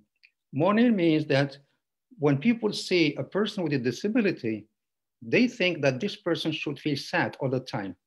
Why? Because this person has lost something like part of a body or is not quote unquote normal. So they always, they always expect the person with a disability to look unhappy. And if the person looks happy and jovial and uh, you know happy with their life, they, they see this as a big contradiction and here I just like invite you um, to think about, have you ever seen like, you know, have you ever been in a place where you have seen a person with a disability, for example, dancing? A lot of people would think, what is that person doing? That person should be sitting in a, uh, in a wheelchair and just looking at people. So they think, they think fun and, you know, and then dancing is only for quote unquote normal people not for people with disabilities. So they think that a person with a disability should all, always be sad, should always look unhappy. Why? Because they have a disability. Then the other factor is called the halo effect or the spread phenomenon. This means uh, that some people, when they see a disability in a person, particularly a visible disability, they think that that person is, is, is disabled from head to toe a person might have just maybe one problem. Maybe a person maybe cannot walk, or a person maybe has got like speech uh, speech problem. The person that cannot speak properly. They think that that that person is sick from head to toe. So they like it's they spread everything like on the on the person, and they think that the person is sick um, every, everywhere in the body. And, and, um, and of course, here I would like to give you an example that happened to me just like recently about um, a few months ago. I was, I, was in, I was in hospital. I had anemia and I was hospitalized for um, a few days and I had to go uh, to go to have a gastroscopy. So I had to see the specialist in gastroscopy. I mean, she, she she's a doctor and she's a specialist, of course. Uh, and then uh, she, um, so uh, so the nurse the nurse puts me on my wheelchair, puts me to the to their office, and then um, as I went in, into the office, I want I had to get on that table. You know, that table is a little bit higher above the ground, and then I couldn't get on that table, so I had somebody to carry me and to put me on the table, so that she could you know have the uh, gastroscopy. And um, when she saw all that, she thought that I was completely disabled. And you know, she asked me, can you speak? So she even thought that I, I was like mute, that I could not speak. And I was just like shocked. And I said, you know, I am a teacher trainer. That was my, my response. Then the other fact, the other origin is um, anxiety provoking unstructured situations. So what is an unstructured situation is um, in, in our daily life, there are some situations in which we know how to act and how to react. We know what to say, you know what to do. But a lot of people, when they meet a person with a disability, for them, it's vague. They don't know what to do. The situation is unstructured. And this provokes anxiety in them. So what they do, very often they just avoid talking to the person. Some people, for example, say, well, I would like to ask him or her how she got, you know, that disability, but I, I was, I'm, I'm worried that she or he might be, um, you know, offended. So, so I would just rather not talk to them and they just go away. Uh, aesthetic aversion is another um, origin of negative attitudes. It's um, when, when sometimes when people see a person, you know, uh, who has, for example, a, an amputation, or maybe who has like, can't walk or doesn't have like uh, any of the of the any leg, and then um, they see this as ugly, an ugly sight. Uh, there is also another example of people who have cerebral palsy. Um, cerebral palsy is, you know, it's a disease that some people have when uh, before, before, immediately before they are born or while they are born or a few years after they are born is that the brain does not get enough oxygen. And then of course it has an impact on their motor skills, on also on their speaking skills, uh, speaking ability. They can't speak, they can't even swallow, uh, you know, food. So they, and sometimes they have like a distorted mouth. So when people see them, they, it's like they say, oh, that's disgusting. Oh, that's ugly. And they just like avoid them. They don't want to talk to them. The last one is called uh, minority group comparability. Um, as we have, as I have said at the beginning of the presentation, the um, people with disabilities are considered a minority and they are treated as other minorities are treated. Think about, think about like a country and in that country there is a minority. It could be a religious minority, it could be um, a racial minority. Usually minorities are treated by the majority are not treated very, very fairly, are not treated very well. So it's the, the same thing. So when, when, when we compare those racial minorities or religious minorities, the way they are treated is the same. Is the same that happens to people with disabilities because they are a minority. So the majority uh, does not treat them uh, very well. So they, they, they, they are victims of discrimination and of isolation, etc. Now, now we come to our um, trainees' experiences with disability. I, I gave them a questionnaire uh, with, with a few questions just to see what they know and what they don't know about disability and how they, they, they, they would react if they had a student uh, who has a disability in their classes. So as you can see, the number is uh, 150 responses. 57.3 are male and then 42.7 are, are female. And as I told you also at the beginning, the uh, trainees are from the training center of Rabat here, and then also from Agadir. I, I wanted to have like different perspective or to see whether the geographical difference um, you know, has any, any, any, impact on the um, um, experiences of trainees with disability. So the next question was, do you personally know or have known someone with disability? Um, um, as you can see, the majority said yes. okay? And of course, this was expected because, you know, um, there are so many, we have like a, we can have a parent, you can have an uncle, we can have a cousin. Uh, and as you can see here, uh, when I said, if the answer is, is yes, uh, is the person or was the person a family member, a neighbor, a classmate, etc. So let's just look at the, um, the, the, um, the biggest like figures is uh, 39.2 say it's a family uh, member, and then 32% uh, say it's a neighbor, and then 33.6 say it's a classmate.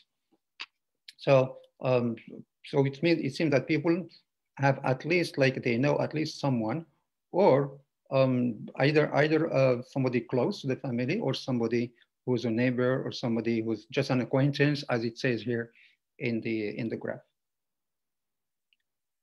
Now, the question, next question was, does or did the person have a physical disability, a mental disability, a hearing disability, or a speech disability, or visual disability? As you can see, the biggest uh, number goes for physical disability, then comes mental, and then visual.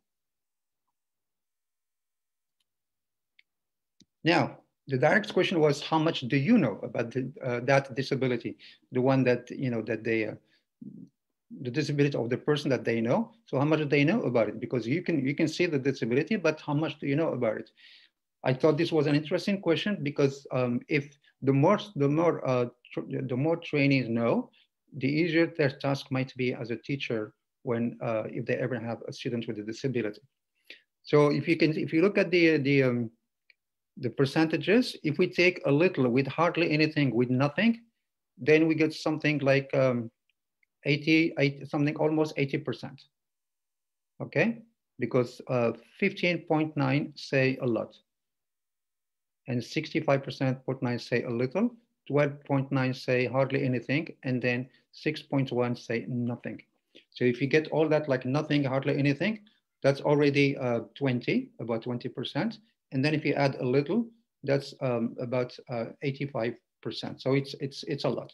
So our, our trainees, they do need to uh, know or to learn about disability and to have some information about disability. So next question was, if you had a student with disability, would you treat him or her like his classmates or treat him or her with pity or just ignore him or her, etc., etc. So the, um, the most important answers were, um, the most frequent answers were like 86 for treat him, uh, like his or her classmates, which is good. So it shows that, that our trainees have this sense of fairness towards their students. And then, but 46.7, they say treat him or her with pity. And that's something, that's something we have to maybe to, to disagree with because people with disabilities in general and students, of course, with disabilities would not like to be treated with pity because when you treat them with pity, you overlook many of their, many of their capacities. And last question, uh, last question probably, after you graduate from the CRMEF, do you think we know how to deal with students with disabilities? So 33.3 say yes, 9.3 say no, but those who are not sure are 55.3. And that's, that's uh, again, um, consolidates the opinion or the idea that our, our trainees do need to know how to deal with disability, with students with disabilities. Uh, Professor Professor Slimani, sorry for interrupting. I just want to remind you that you have five to seven minutes left maximum. Thank you very much. I will try to make it five. Welcome.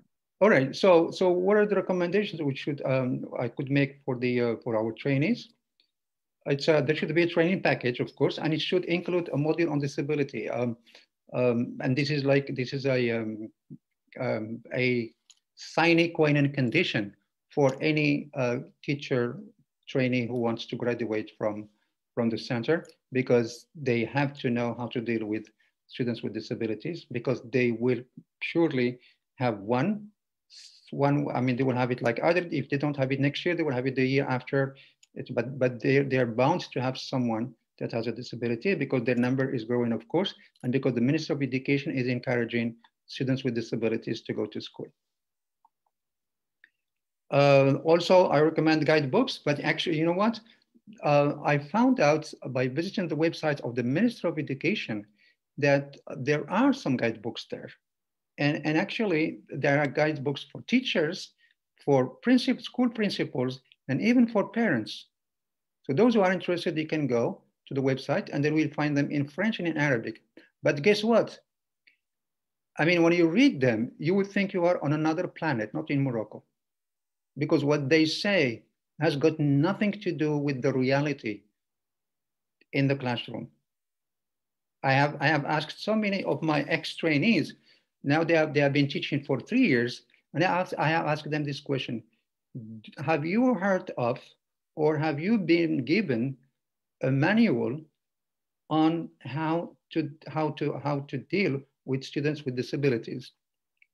I have asked at least 60 of my ex-trainees and the answer was no. So I don't get it. The manuals are there, the guidebooks are there, and they've been there since 19, since 2015, but nobody knows about, about them. Go figure. Uh, so um, in-service training, yes. So uh, our supervisors, English supervisors, should also take part in training, um, in in doing having in-service training sessions with um, the teachers so that they can tell them about the issue of how to deal with students with disabilities. And of course, um, from time to time, some uh, experts should be invited, like speech therapists, physical therapists. They will always give some good advice to uh, the teachers who have students with disabilities. And even those who don't, because everybody should know, so that whenever they have a student in their class, they, they, they know they will be ready and they will know how to deal with the students. And of course, parental involvement also, also is necessary because parents also can be a very good source of information for the teacher because parents, they are, because they know the disability, they know how to, how to deal with the, uh, uh, even the way, the way a student should sit, even the way, I mean, what, what they, what the student should, can eat or cannot eat, what, uh, uh how, how often uh, does the student need to go to the toilet, etc. So parents can be um, a very good source for teachers. And of course, the school staff also should be trained. Um, you know, the administrative staff should be trained on how uh, to deal with students with disabilities. And of course, maybe if the other also um, stakeholders or decision makers are important, of course, they also should be part of the program. I'm done. And these are my references. Thank you, Mr. Slimani. Thank you so much. You have addressed a very sensitive issue. Some have no idea how to deal with students with special needs, um, especially in our nowadays society. Um, the audience were interacting with you in the comment sections. Some of them said that um, they are thankful that you have talked about this topic since, uh, like, for example, Ilham said, thank you for bringing this topic to the surface, sir. Personally, I don't have experience with people with disabilities. So uh, we, have an, we have a question from uh, Mr. Mbarak Ahilal. He said that do you think that we need or we should set up institutions for people with special needs or we just like integrate them in the so-called normal um, it depends. It depends on the disability. If the disability is very serious, like mental disabilities, for example, it would be um, nonsensical to integrate, to try to integrate somebody with a severe mental disability in a normal class, quote unquote. Uh, those normally, and I know this from experience, they usually go to a special center where they are taken care of by people who, um, you know, are, are experts in special education. Exactly, integration in Morocco, it depends. Yeah, integrate in Morocco. They, they, now that the, today the Ministry of Education is talking about inclusive education, and it's usually for students who have a mild disability, who can easily integrate a normal class, and they can, and of course they don't have any mental uh, disability. I mean, they can, they can, they can learn, they can, they can have good marks like anybody else. Exactly, Mr. Slimani. It depends on the seriousness of uh, of the disability of students, as you said. Yes. Um, I will. I will. We will have another um, question before we move to our next presenter. So uh, the question. Do you think that treating them with pity would be a good idea? It would be a bad idea if they are not good at the subject. Because sometimes, um, you know, like I say, if if they have any problem with their men with their mental capabilities, if they are like um, you know like everybody else, then of course we should um, we should require that they work hard, as hard as anybody. However, we should think about accommodating them. Like, like I know some teachers, for example, I know uh, for my PhD, I was, I was uh, with a student, she had, she had cerebral palsy and she could not, of course, speak and she could not write. And she had some teachers, um, I remember it was somebody, a history geography teacher, who was uh, always um, requiring her, requesting her to write as fast as the others which he could never do. So you have to accommodate the student with a disability. So, but if his mental capacities are like, you know, like the other capacities of normal students, then of course we should insist that that that she or he work uh, as hard as um, anybody else, because You're... pity would not pity would not would not would not yield any any knowledge to the student, would not make the students more knowledgeable, would not make the students better. You're absolutely right, Dr. Slimani. Um, so we have another more question before we move on. So uh, the question is from Ihsan Bumha. She said, uh, do you advise as teachers to favor students with disabilities? No, I mean, I don't like the word favor. Um, that's why I was happy with the answers of uh, the trainees when they said uh, treat like everybody else. I think what the majority said, treat everybody fairly. Um, it, it, just, it's not about favoring, but it's about accommodating. For example, usually if a student has a wheelchair, he, he or she should be at the front of the classroom, not at the back. That, that's one thing. If, for example, a student has problems like looking at the board, for example, he can't see or she can't see what's written on the board, she should be put somewhere in the middle at the front. So that's accommodating. Uh, if a student needs a bigger table, we have to get to get him or her a bigger table. So that that's that's what this is not favoring. This is just accommodating the student. But when you favor, you know, the other students will not will not like it. That's how I say it. That's my opinion. Exactly. Exactly. They should be treated with pity. Exactly, right. Mr. Thank just, you so yeah, much here, for the insightful uh, presentation. yes. I would like just to share something, please. yes, go ahead. Because because it's it's a it's a student I will never forget. I had her when I was a high school teacher. I had some. It was like in 1992, I think. Uh, she didn't have any arms at all, no arms. Can you imagine? So she would come with with the you know she was just like little like little butts, like pieces coming out of her shoulder, one on the left, one on the right. They were just enough for her to hold her school bag, to put her school bag on the back. And she would come every day and she would always be punctual. And you know, when she writes, she writes with her feet. And my God, her, I should say, not handwriting, but feet writing was wonderful. She was even using a ruler to underline, you know, words. And then her copy was so beautiful to read.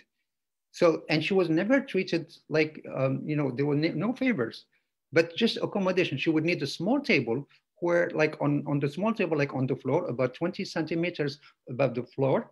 And then she would put her feet on that sm small stool or table, and that would allow her to write because she can't put her feet on the desk like everybody else. So she had her feet has to be a little bit down. So, so we made sure every, all, all that was, you know, like she, at, at the beginning of every session, she would have a little table for her, her, her pens, her ruler, and then she was ready to, to, to write. So that, that's, so I will never forget that student. Amazing. And what? She got her BA in English.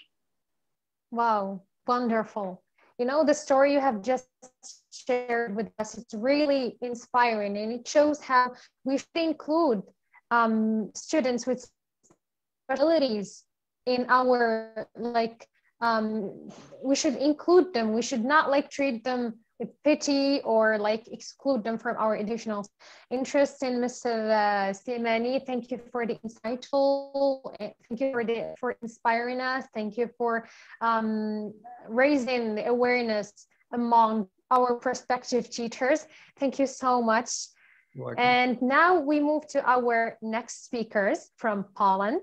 Thank you, Mr. Zeman.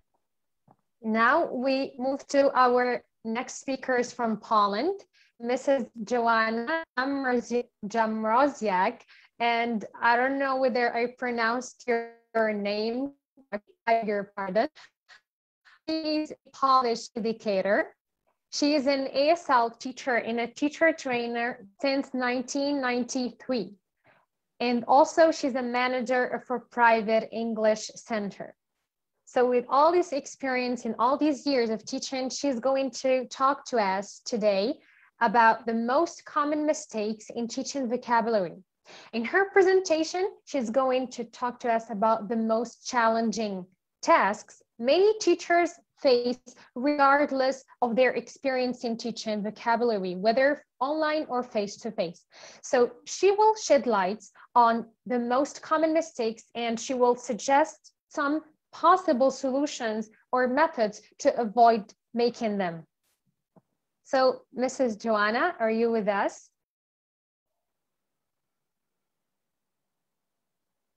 Yes, please activate your mic. Very sorry. Yes, I am very sorry. Yes, all right. Thank you very much. Hi. Inviting me to Mrs. Joanna. Really, I feel honored to be here with you and to listen to so many wonderful speakers and uh, to be able to um, you know, hopefully to inspire some prospective teachers to become excellent teachers. Um, um, I think we have one of the most important jobs in the world because the way we teach students uh, is going to affect uh, their entire lives and the way they uh, interact with other people and use their knowledge and so on. So, okay, but back to what I'm going to, uh, to talk about. Uh, um, I have prepared a short list of the most common mistakes English teachers make, including myself.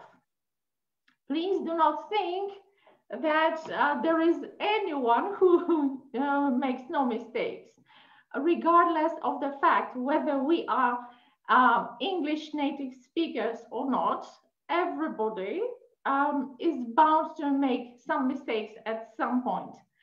Uh, whether it's pronunciation mistake or grammar mistake. Uh, so uh, we shouldn't try to be uh, perfect all the time because if we uh, do, we will get disappointed and frustrated at some point. But uh, okay, I want to share my screen with you now um, to show you, hold on, please. Okay. Um,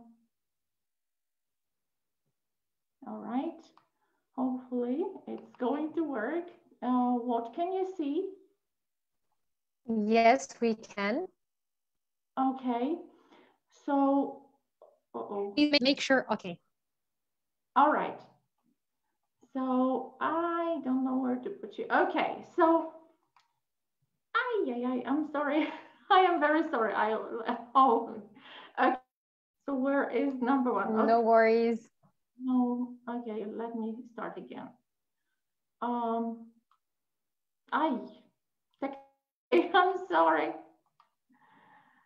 Okay, let me try again. Yes, take your time. Okay. absolutely okay. Uh, one of the most basic things that a lot of teachers underestimate is the collaboration between teachers, students, and parents.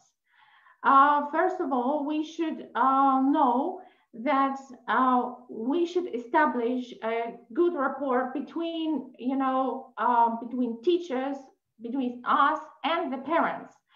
Because if parents are not aware how hard our work is, how many efforts we make every day to teach their children, they simply may uh, underestimate our role. And parents need to know that we um, try um, so many different ways to reach their children to, um, you know, to become very effective teachers, uh, to help their children enjoy uh, the way we teach. Um, parents um, are also unaware how much effort it takes for their children to learn a language. And they may not know that their children should um, do many things in order to uh, become proficient speakers. So this is uh, one thing. We need to make sure that we collaborate with uh, our students, but also with their parents. Um, okay, and now uh, to the uh, most common mistakes we make as teachers. First of all, uh, a lot of teachers um, are not always super successful when it comes to encouraging their, their teacher, excuse me, their students to want to learn. Um, let me give you an example. You can tell your students, okay, today we are going to learn new vocabulary, uh, which I am sure is going to help you uh, learn more and so on. Okay, it's not going to work. I think as teachers, we should be more um, active and show some enthusiasm. And instead of saying, okay, we are going to learn more vocab, we can say, hi guys, we are going to do some cool stuff today. We are going to learn really great, and I'm sure you are going to like it.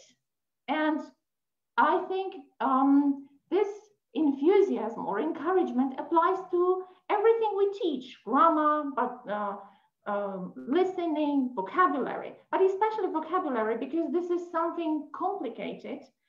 And um, I believe uh, teaching vocab is one of the most important tasks. Uh, but okay, it's a different topic. Okay, um, another thing is, okay, the question is, does teaching a lot of vocabulary? Excuse me, I don't know why this, uh, because I guess you can see, oh my goodness again, I'm sorry. Ay, ay, ay. No problem, Miss Anna. Just I, take your time. Okay, that's teaching. I, I'm sure you can see this blue, please move this window, but okay. Does teaching a lot of vocabulary mean effective It takes away her. Okay, so I believe teaching a lot of vocabulary is not effective at all. We cannot overwhelm our students with a lot of words in one class. Um, even if we have the best materials, even if we um, have lots of interesting aids, if there is too much vocab, it's not going to work. Um, Another thing is we should not try to teach a lot of new content each class. Um, if we have, for example, five, if a student has five English classes a week and we want to teach um, 20 new words in each class, it's not going to work because it means a student is supposed to learn 100 new words a week. That's a lot um, I don't think we should uh, try to, to do it. It's not going to work because um, either the students will not remember the pronunciation or the meaning. Uh, so I think we need to decide uh, before classes what we what our aim is, whether uh, the vocab we are going to teach is interesting. That's that's uh, important because um, okay. Let me show another thing. Okay, um, this is okay. Maybe let's follow the the order I have here. Uh, one of a very common mistakes is we expect students to figure out words, the meaning of the words from context. And it takes a lot of time. Um, I do not have a lot of classes with each group. So I need to be very precise and I need to make sure that uh, my students learn a lot in the class. Um, so I do not want to waste time using some techniques that are not very uh, efficient. So uh, instead of having students figure out uh, the meaning of the word from the context, I believe it's better to give to provide them with definitions. Um, of course, the definitions have to be adjusted to the student's level and their proficiency in the language. Um, another thing that we may uh, do wrong is that we only have students write the word in a sentence. We cannot teach vocabulary in this way because look at this sentence here. Tina is a patient girl. If uh, we write such a sentence on the board, um, the students, your students, we uh, do not know the meaning of the word patient anyway. So um, it doesn't work this way. We need to provide uh, sentences, yes, but sentences in which um, they see the meaning of the word. Um, so instead of saying Tina is a patient girl, it would be better to say Tina does not often get upset when somebody does not follow her um, uh, request. And in this way, she displays a lot of patience. So uh, we can also uh, introduce um, words that derive from the word patient or um, in this way, uh, the students learn also what we call kind of family of words. So it's very good to teach them uh, synonyms and similar words. So like uh, we have here, Tina is a patient girl. We can also teach Tina uh, shows a lot of patience.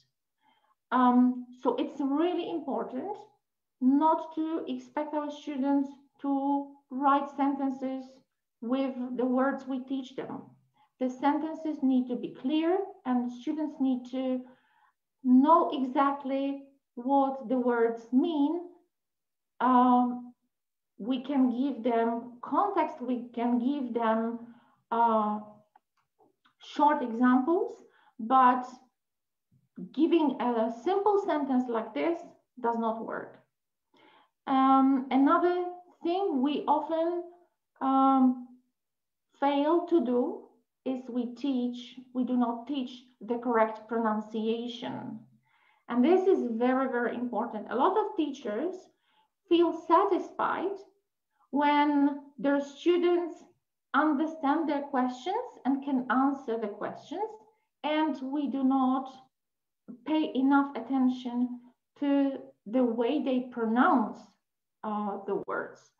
I believe this is wrong because you know, you are all aware of the fact that in English and in many languages, there are a lot of differences when it comes to the meaning of the words, depending on the pronunciation. Uh, so when we do not teach um, the correct pronunciation of the words, um, students may not be aware that the words they are not learning are not what they expect to know.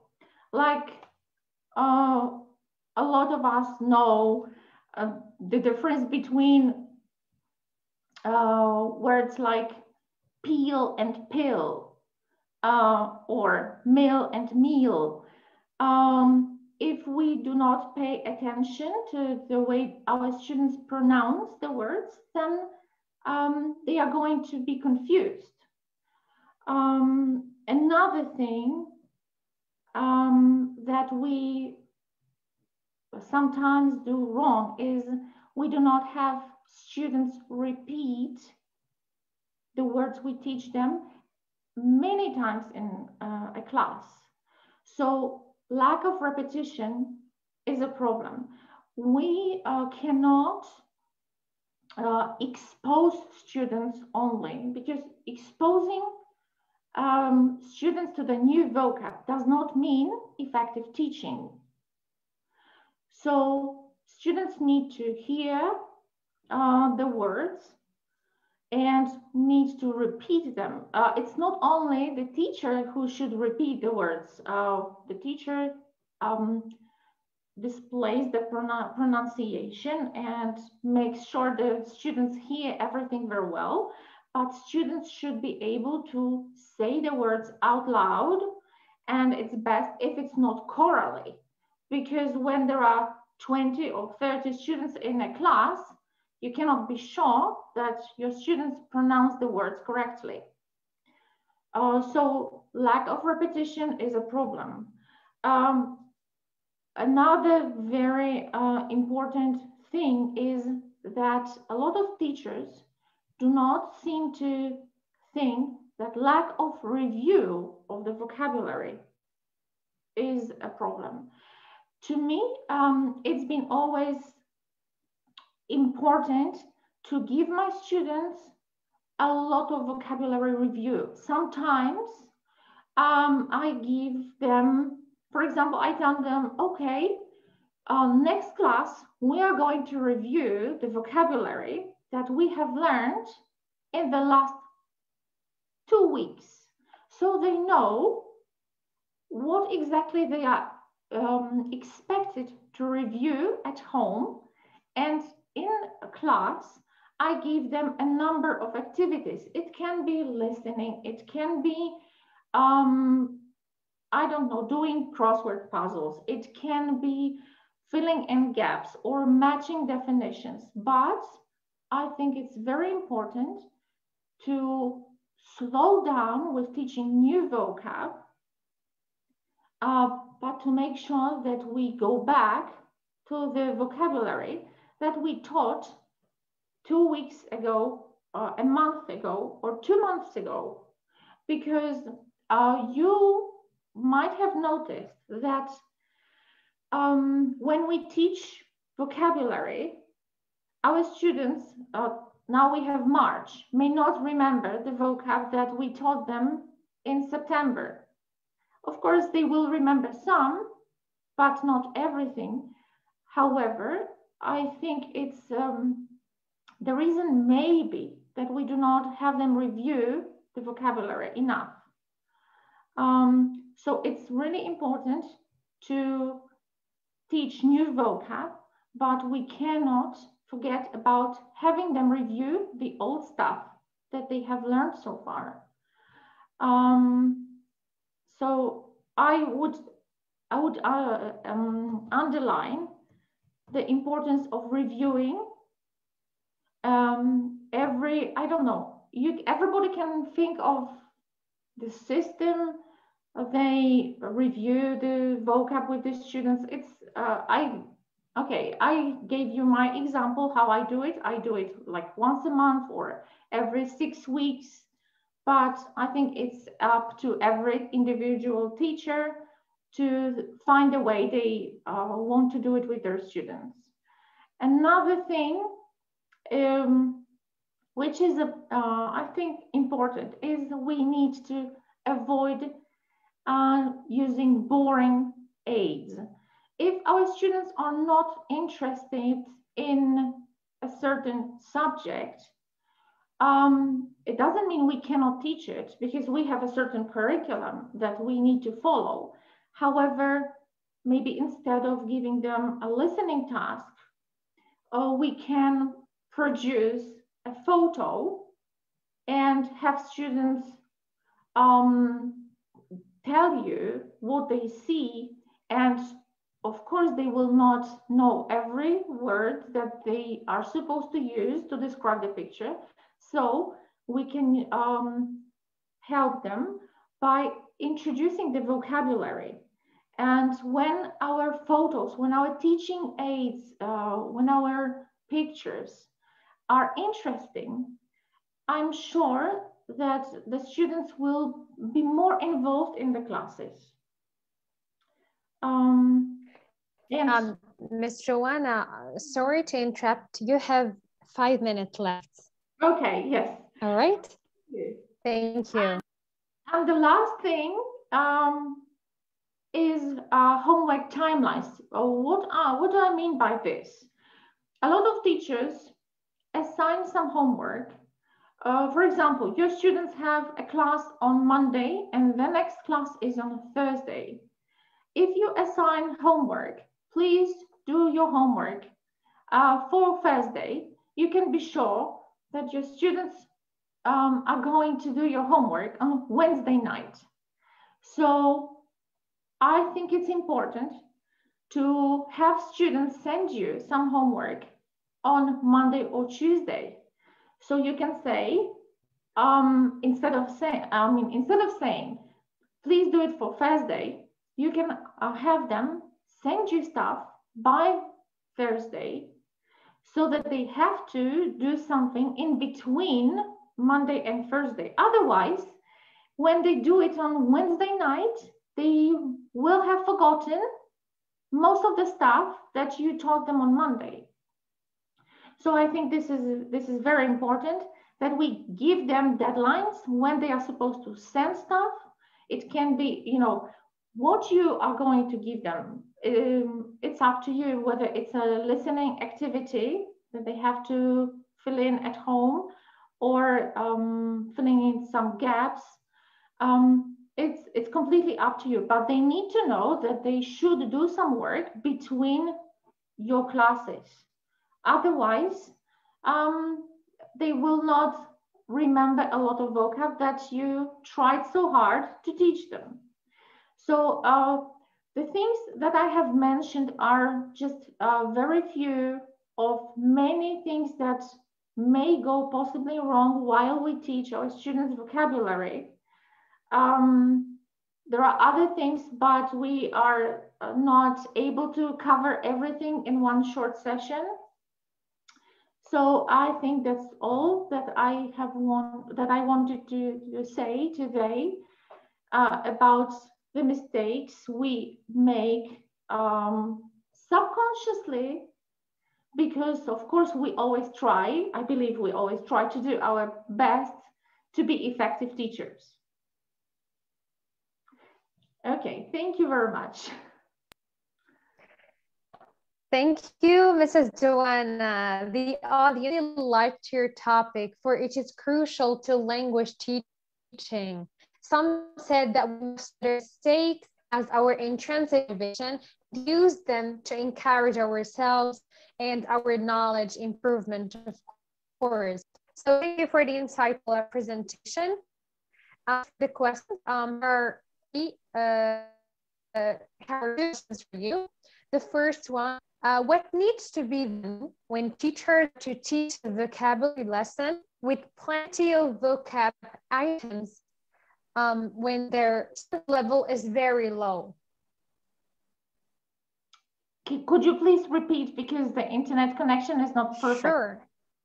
It was cutting. All right, sure. Can you hear me now? Yes. Mm -hmm. Perfect. So the question goes as follows. What needs to be done when teachers are to teach vocabulary lesson with plenty of vocab items while their students level is very low? Okay, so we may apply a flip uh, uh, lesson. So uh, students are supposed to read something at home. They will not know the vocabulary, but at least they will know the text uh, and it will be easier for us to introduce the new vocab. When I have um, a long article, I do not usually uh, use uh, the article in the class that when I teach the vocab. I concentrate on teaching the vocabulary itself. It may be through Quizlet or um, quizzes. Um, there are lots of um, digital tools, online um, platforms which help us teach vocabulary. Personally, I love Quizlet and I use it in my classes a lot. And uh, I have done a kind of a survey um, among my students and I asked them, how do you find, what do you find the most effective way of learning vocabulary? And all of them, um, I exaggerated, I'm sorry, a lot of them said that teaching, uh, uh, learning vocabulary using Quizlet helps them a lot. It's a really great tool because, well, there is no time to describe Quizlet now. I'm sure a lot of teachers are familiar with Quizlet. So when I have a lot of vocab, I do not try to teach vocab and reading and answering the questions in the article. I'm, I want to divide the class into two sessions. So one class is only teaching vocabulary and it can be uh, by means of uh, many things, many different activities. And the next class, I want to use the article with the vocab and they, they see exactly how the vocab works. And we do comprehension questions and they, because they have already been taught the vocab, they have no difficulty answering the questions. So I don't know if it makes sense. Well, well answered, Ms. Joanna. Um, the last question for you is, pronunciation is indeed important, but what if the students are not able to pronounce some words the right way, even after several times? Uh, because you know English can be difficult to pronounce, especially to people um, who learn it as a third or fourth language, like the case here in Morocco. Well, of course we cannot. And by the way, yeah. Go ahead. Yeah, the question was from uh, Asma Abul Faraz. Okay. Yes, there are some people who have definitely um, difficulty pronouncing uh, a lot of words correctly. And well, it's a very individual thing. We cannot spend the entire class teaching, uh, you know, a few words that you, our students have difficulty pronouncing uh, because it, it, defeats the purpose. Um, I'm sure that when it, the pronounce, pronunciation is close to the what it should be like, um, we, we should find it you know, enough. And instead of having a student repeat a hundred times, we should say, okay, that's fine. I'm sure you will be understood because we cannot be uh, frustrating when we teach our students the correct pronunciation. I mean, frustrating for the students. Absolutely. Yeah. Absolutely, Mr. Miss Joanna. Um, I'm sure our prospective teachers um, will learn a lot from the mistakes you have talked about today. Um, and they will consider and they will reflect upon these mistakes, of course. So thank you so much for the presentation. It was very insightful, very um, inspiring. Thank you so much. So now we move to our last speaker, who is Mr. Hussein Qasserras, um, uh, the co-founder of GBF, of course. So Mr. Hussein Qasserras is a Moroccan educator and trainer for more than 14 years of experience. He's the Cambridge, Cambridge certified trainer, also a teacher trainer at CRMEF Rabat. Um, he's also a researcher on the implementation of 21st century skills in EFL classrooms and quality education. Hussein Qasserras got two masters MBA in Project Management at Cardiff University, UK, Master of Education at Rabat Mohammed V University, Morocco. He's a founder and director of Rabat International ELT Conference and a TEFL program coordinator at both Tucaso Academy and the Canadian Academy. He has participated um, in several conferences, both in Morocco and abroad. He has trained and coached youth and teachers from different countries such as Morocco, Qatar, Turkey, Spain, the UK, Algeria, Tunisia, and other countries. Um, his area of interests of interests are Color TESOL, peace building, global education, business, administration, conflict resolution, etc. So Hussein Qasserras also wrote a book entitled Bac Preparation for uh, second baccalaureate students, of course. Um, in, in his presentation, he, he's going to talk to us about top tips to create a positive learning environment. So without any further delay, Mr. Hussein Qasserras, the floor is yours. Thank you, Najwa and Asma, our great um, GBF members, and today you are wonderful moderators. Hello, everyone. Hello from Morocco. So my presentation today will be about how to create a positive learn environment, especially if you are teaching adolescent learners, teenagers. And uh, last year, I met some of my friends and my friends are not teachers, by the way. They invited me to the cafe and they paid everything for me and they celebrated. And they said, why you are celebrating? Okay, it's not my birthday. And I said, and they said, you know, it's the first time we have learned that you are doing a great job because you are a teacher. It was the lockdown, and then we were in the same house with our children for more than two months. Then we have learned how difficult the teacher's job is. Eh?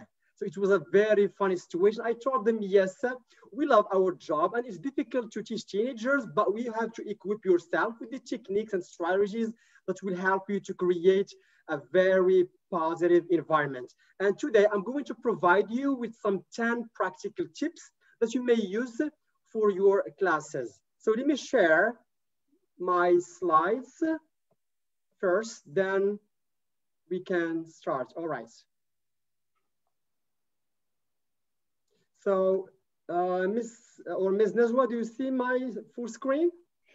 Yes, I can see it. Just make sure to put it on full screen. Perfect. Now it's good. Go ahead. Wonderful. Thank you. So, top tips to create a positive learning environment. So I'm going to provide you with 10 ones. I'm not going to focus on, I mean, uh, using games or fun activities because we all know that games and fun activities do, I mean, uh, motivate and create positive environments. But I'm going to share with you um, other, I mean, tips. So these are the aims of my presentation. Number one, the introduction is a kind of warm-up activity. Then we have to deal with the strategies and some techniques um, uh, to create uh, a very enjoyable, a very, I mean, positive learn environment. And at the end, there will be a, a conclusion. Good, so here, warm up. I mean, from one to 10, these are some opinions, some views expressed by teachers and here, our international audience, I want you just to write one agree or disagree, two agree or disagree. So let's do it all together. Number one, some teachers said adolescent learners are lazy. So write D or A, agree or disagree. Number two, they are creative. Number three, they learn more languages. Number four, they usually cheat on exams. Oh my God. Number five, they are difficult to teach and handle. Number six, they feel bored easily. It's boring. Number seven, they are digital natives. Number eight, they need physical activities. Number nine, they are usually tired. And number 10, they often break rules. Okay, so here or these are some opinions of teachers, okay. For me, number one, adolescent learners are lazy. I don't think so. It depends on the teacher's style of teaching. It depends on the classroom. It depends on the level of learners. They are creative. Um, yes, even, they are creative. Sorry? Sorry to interrupt. Even the audience disagree with this statement. Thank you. What about Number two, they are creative. Yes, they are. Yes, they agree. They learn more languages. Yes, I yes. agree. Yes. There are some students, they learn five. I have only two or three, so they are better than me. Wonderful. They usually cheat on exams. What do you think? Depends. Um, depends sometimes. on which uh, institution it, it is. School. It depends on the administration. It, de it depends on the teacher, him or herself. If you are an easygoing teacher, if you are a lazy teacher, you will let them teach, of course. They are difficult to teach. What do you think? Also, it no, depends no, on, on, on, the teachers, yeah. how they are going to deal with, with them. Thank you. To my humble experience, yes, teenagers, adolescent learners are difficult to teach. There's a change going on in their body, the hormone, okay? So they, they are very moody. They are, they, they get, I mean, depressed, they get angry easily. So they are difficult to teach. That's why, I mean, you have to equip yourself with all the techniques and strategies of how to manage the classroom. Number six, they feel bored easily. Yes, I agree. Thank you. They are digital natives. Yes. 100%. Absolutely. Yeah, teenagers, they opened their eyes. They found what? WhatsApp, Twitter, Instagram, all these social media platforms, okay? So they are digital natives. Number eight, they need physical activities. They need to move in the classroom. Yes, I think so too. Agree or disagree? I agree. Wonderful. Agree chair, They need to move. out. Number nine, they are usually tired. Agree, disagree? It depends on which time are you going to teach them. If it's the morning, if it's the afternoon. Wonderful. Yeah, but scientifically and psychologically speaking, teenagers usually, I mean, they are usually tired. Again, there's a change going on inside their body, the hormone, the hormonal change. And number 10, they often break rules. Sometimes, yes. Yeah, sometimes they do. Yes, yeah.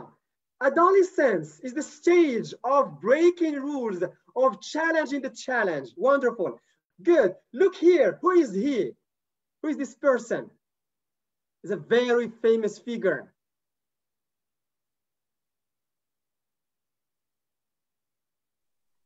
Bill Gates? it's Bill so, Gates, yes. Thank you. So look here. Teens challenge and break rules around age 11, Bill Gates started to become a problem for his parents. Can you imagine? Bill Gates was a big problem for his parents when he was 11. Now he's the great, the most successful businessman. So as his intellectual capacity grew, so did his argumentativeness.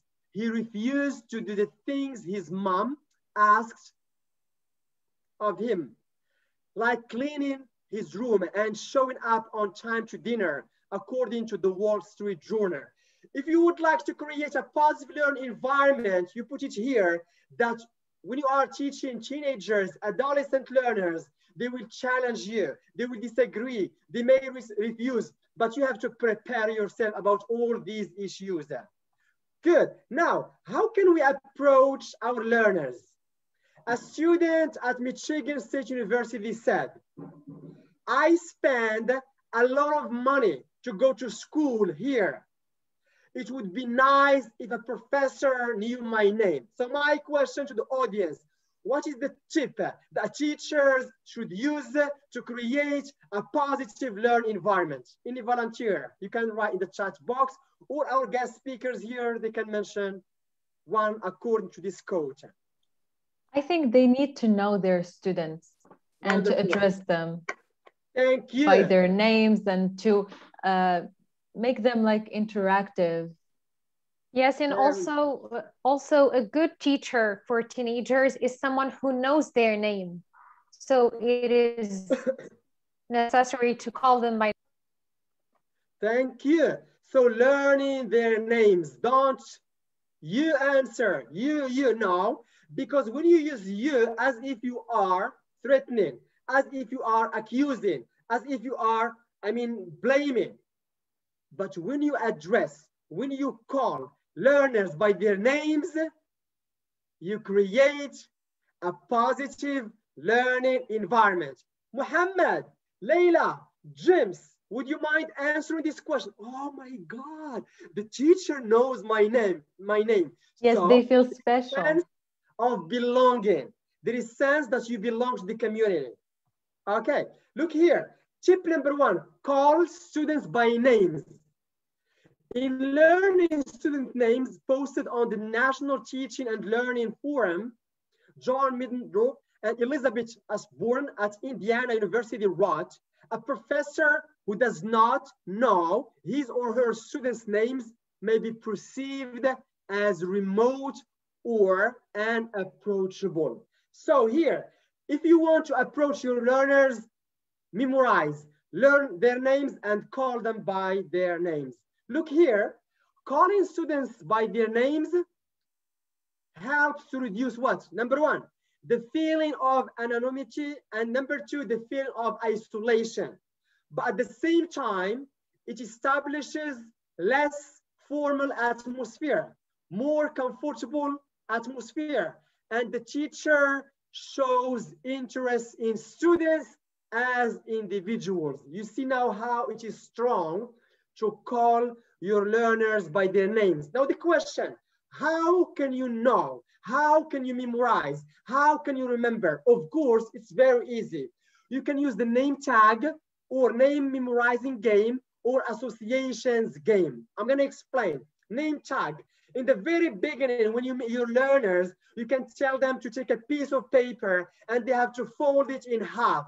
And then everyone take a marker and they write their full name, Muhammad, Kamal, James, etc. After one, two weeks, whenever you want to ask a learner to answer, you look at his name tag and you address him or her by his name. And of course, after one, two weeks, you will remember their names. Or number two, you can play the game, name memorizing game. You invite them and they can form a circle. And then the teacher will start like this. My name is Hussein and my favorite food is couscous. The second person should repeat my name and my favorite food. The second, the third person should, should, should I mean, repeat my name and the second student's name, etc. And it goes like this. At the end, we start to learn about students' names and their favorite food or color, etc. Sorry, okay. Mr. Hussein, can I interrupt you? Yes, please. I have a question. So yeah. this is for like, like um, uh, for teachers, what about professors? How can they learn their students' names uh, when there are like 200 students in the classroom? Wonderful. It's a very interesting question. That's why the, my topic is about teenagers. Good. Now, there's a difference between a teacher and a lecturer. When you are giving a lecture, it's not like, um, I mean, teaching your learners because when you are teaching, you have about 30 maximum or, I mean, 45 learners. So here you can learn. But if you have a very, a very large, I mean, classroom and a large number of learners, you are not supposed to learn all of them. But if you can learn only 10, 10 names, you create a very positive learn environment. As we say, one loaf is better than, than none. One loaf is better than none. So if you are teaching 100 learners, and if you can remember only 10, that would be, that would be great. And that will create a positive learning environment. Yes, Asma? Thank you. Thank you so much. Yeah, most welcome. Good. Number two, our future teachers, especially public school teachers, please keep it positive. Why? Because life is a is full of challenges and your job is to challenge the challenge. Why? Number one, you may have large classes in public schools, more than 45 or maybe 50 learners. Number two, you may have mixed ability classes. And number three, your colleagues, teachers, your parents, your friends, maybe, or they are toxic people. They speak only in terms of negative things. So please keep it positive. Large classes, no problem. A lot of ideas, a lot of human beings, a lot of people, a lot of, I mean, suggestions. So keep it positive. Mixed ability classes, no problem. I love teaching. High achievers, low achievers, I'm going to vary my instructions. I'm going to vary my activities. Grouping, I mean, uh, pair work, group work, keep it positive because you have a mission and your mission is to satisfy the needs and wants of everyone. And number three, which is the most important for me, please, my piece of advice, avoid toxic people. Why? Because life has got two picture. I mean, has got one picture and one picture has got two sides, the good and the bad. So let's focus on the positive side. Okay. Now, first class, first contract. My question to our audience, what activity will you start with on the first day of school? And some of the, I mean, teachers and trainees said, of course, the code of conduct. And I agree. You can start with some, I mean, light activities, introducing each other, and then you move to code of conduct. And here, tip number three is empowering learners. We need to empower our learners. We need to listen to them. We need to take their ideas into account. Why? Because no one listens or listens to them. They go to their parents. Their parents says, I'm better than you. I have more experience than you. So listen to me. They go to other people. I'm older than you. I have more, ex more experiences, etc. So they find no one to listen to them. It's you that you have to discuss and you listen to, to them what they need, what they want, what they prefer, etc. So look here, a student said, I don't like this expression, code of conduct. And remember in the very beginning, we said teenagers or adolescent learners challenge and break the rule or the rules. So can you think of any other expressions to use in the first contact with students instead of code of conduct? Why? Because when there is code, teenagers will say, oh, a code, it's a rule. I'm not gonna respect the rule. I'm gonna challenge it. I'm gonna bring, break the, the I mean, the, the rule. So why not giving them a very nice expression that they may agree on? And some of them said, look here, very interesting. Some of, the, some of my learners said, teacher, I would prefer classroom va values more than code of conduct. Others mentioned classroom principles more than code of conduct. I said, great, let's go for it. So here I empowered my learners and implicitly I created a very positive learning environment. Wonderful. Tip number four, as Kokolas said, share with your learners. And here, number four, sharing is caring.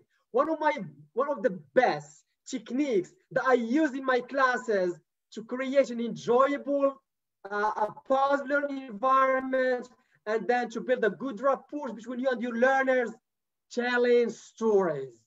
Because stories go to the heart. And once they go to the heart, they change behavior and then you create a positive and then your learners become loyal to you. How? Look here, storytelling adds more fun and it's about more mystery, more excitement and more behavior influencing rapport. And this is the most important. When my learners are very tired, when my learners are very depressed, when my learners are very sad about life, they are pessimistic, I stop teaching. I don't care now about teaching. I start to give them and to narrate and tell them about inspiring stories. Do you know that one of my friends, when I was at the high school, he repeated three times, then he was kicked out and he applied again. And he got accepted to study again. So the fourth time. Can you imagine? He repeats the first, the second, the third, and the fourth time he made it. and he got his bag and he went to the university. Can you imagine now? He is a, a judge in the court. He is a, a successful person, which means the more mistakes you make, the better you become as a learner. No problem, make mistakes. And then oh my God, teacher, are you sure that he repeated several times and now he's a successful person? Yes, I'm a teacher. I have made, and I, I'm still making a lot of mistakes. And when we make mistakes, we learn. It's natural. Okay, so please share with your learners inspiring stories. Number five, don't be mean, be generous. Praise your learners and don't praise them just good, good job, well done, beautiful, brilliant. Don't be mean. Bring chocolate, candies, a banana, for example, and you give them, give them certificates. The best students in June, in July, in March. And then there is recognition. They feel that they are very important in this class, okay? So praise them. And here Jill Hadfield said in Classroom Dynamics 1993, Oxford University Press, that a positive group atmosphere can have a beneficial effect on the, on the morale, motivation, and self-image of its members, and thus significantly affect their learning. Please don't be mean, bring chocolate, candies, and then you can say, great, wonderful, brilliant. Good. Number six, surprise your learners because teenagers, adolescents, they like to be surprised. So adding surprises in your classrooms. How? These are some. So you can start your lessons with building interest. How can you build interest? Number one, you can start with a surprising fact. Number two, using fun games. Number three, teacher sings and students listen because learners are crazy about listening to their teachers and their teachers are singing, okay. I am sailing, I am sailing home again, cross the sea, I am flying, I am flying home again. No problem. I am swimming, etc. Even though I don't have a good voice, but I create a very positive learning environment. D, using interesting pictures, realia, posters, visuals in general. And the last one, which is the most important, why not inviting a guest to the classroom? You can, in, you can invite your, I mean, your ex-student who is now a successful learner. Then he or she can share with your learners. You can invite a teacher who is going to give them a talk about a certain topic, etc. Look here, I want to teach animals lesson or topic. I'm going to start with a surprising fact. Here, my learners, I want you to write T, true or F, false. So start. I would like to give you three minutes. Number one, all dogs dream. Number two, slugs have noses. Number three, cows can recognize their names. Number four, only female mosquito bites. Number five, a snail can sleep for three years at a time. Oh my God, three years. Number six, wild dolphins call each other by names, oh, flipper, etc. Flipper. Now, one minute, write T or F, one to, to six. What do you think?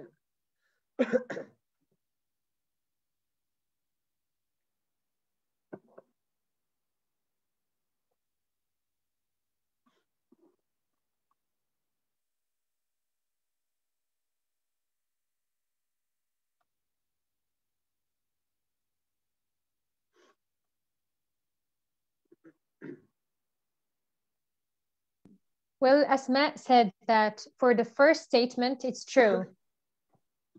Uh -huh. So number one is true. Number two, yeah, our guest speakers here.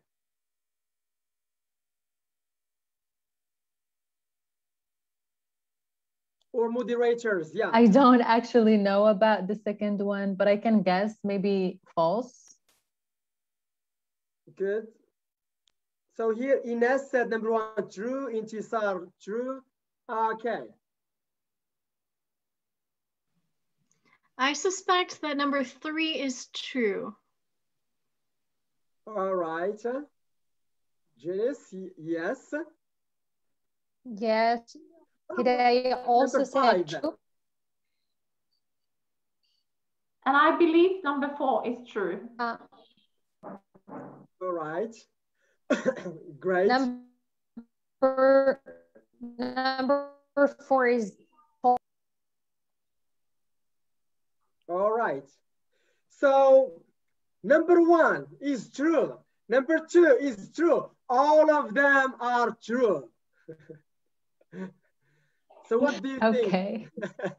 so okay. here we are adding a we are adding surprising fact. All of them are true.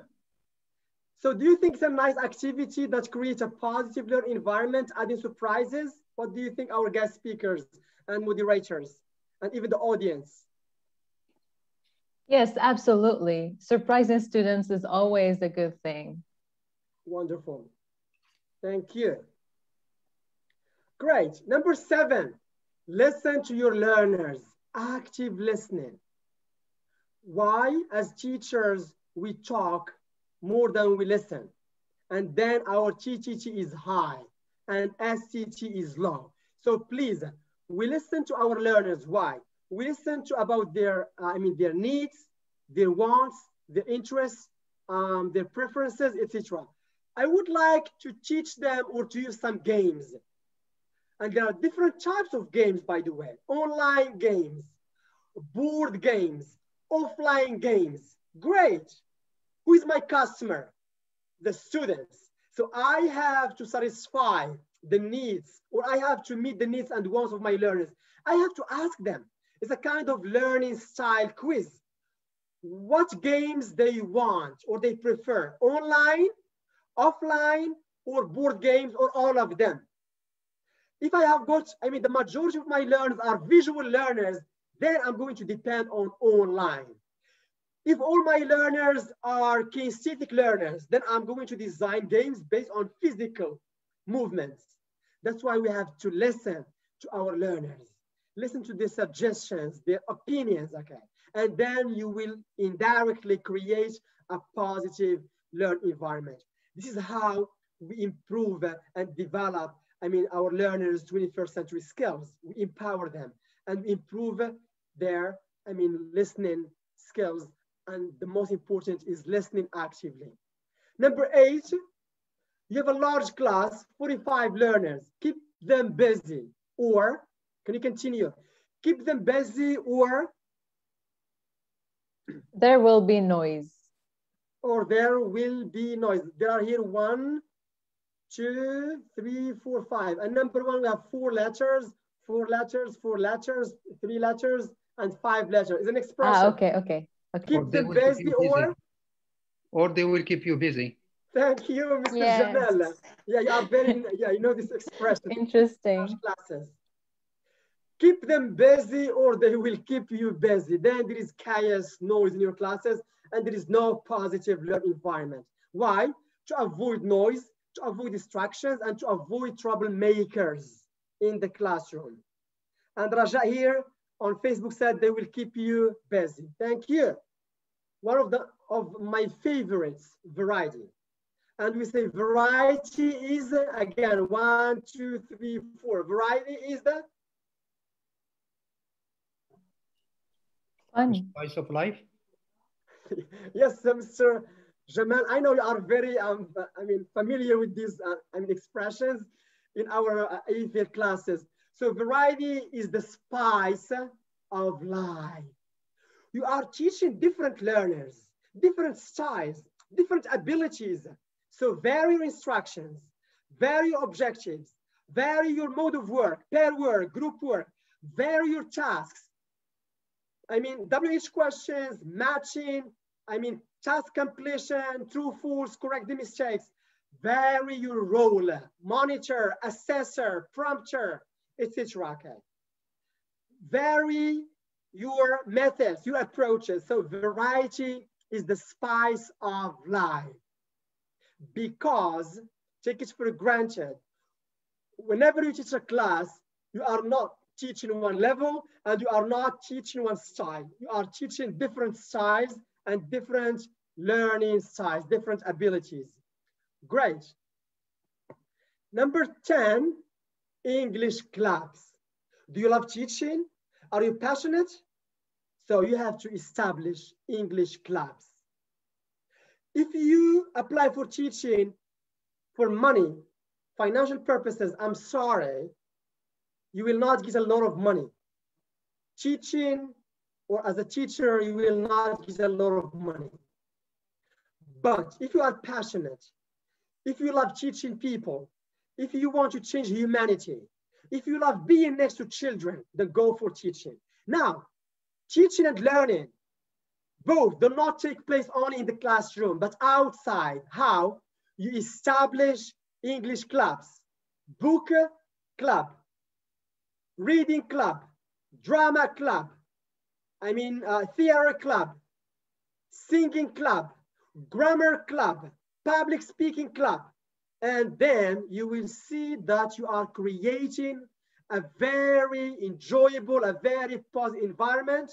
And then you are changing lives. Let me um, share with you my experience with, I mean, establishing English clubs. Look here, we established, I mean, a club named English Club, and then we collaborated with GBF back to five years, I mean, five years ago. And here we invited students to visit the parliament. And here students belong to different schools. Can you imagine? All of them have never been to the parliament. And now they went there. Why? Because Moroccan youth, Moroccan young people are not interested in politics. There's a topic in the second Bac about if young people are interested in political life. And the majority said no. Now, we give them this opportunity to visit the parliament, to listen to the members there about the lectures, and one of the parliament members gave them a lecture in English. And then they said, wow, we have to participate. Why? Because if we do not participate, then wrong people will take other places. So we have to participate, we have to vote to choose the right person for the right place, the right position. Look English clubs how, I mean, uh, establish a positive and changed or have changed the way youth or young people think about politics. And here, our young students all the time from the house, the home to school, from school to the house, to the home. They don't know about non-governmental organizations. They don't know about volunteering. They don't know about sacrifice. They don't know about helping, uh, I mean, others. So we invite them to visit a non-governmental organization called, give them a presentation, a workshop about very interesting topics, youth empowerment. And then young students said, wow, it's not only the school that can help you to flourish, but also if you engage in, I mean, in, or if you, if you become a part of a non-governmental organization, you will learn and learn a lot. And then you will start a good networking with other associations. And then we will learn about the life skills, the soft skills. So here, we as teachers, we have to organize competitions, singing, dancing, drama, theater, reading, etc. And here Global Bus Foundation, in collaboration with the select delegates, they organized a competition named Students Got Talent and our learners participated here. Poetry, public speaking, singing, drama, breakdance, and drawing. What is very interesting, the competition lasts about five months.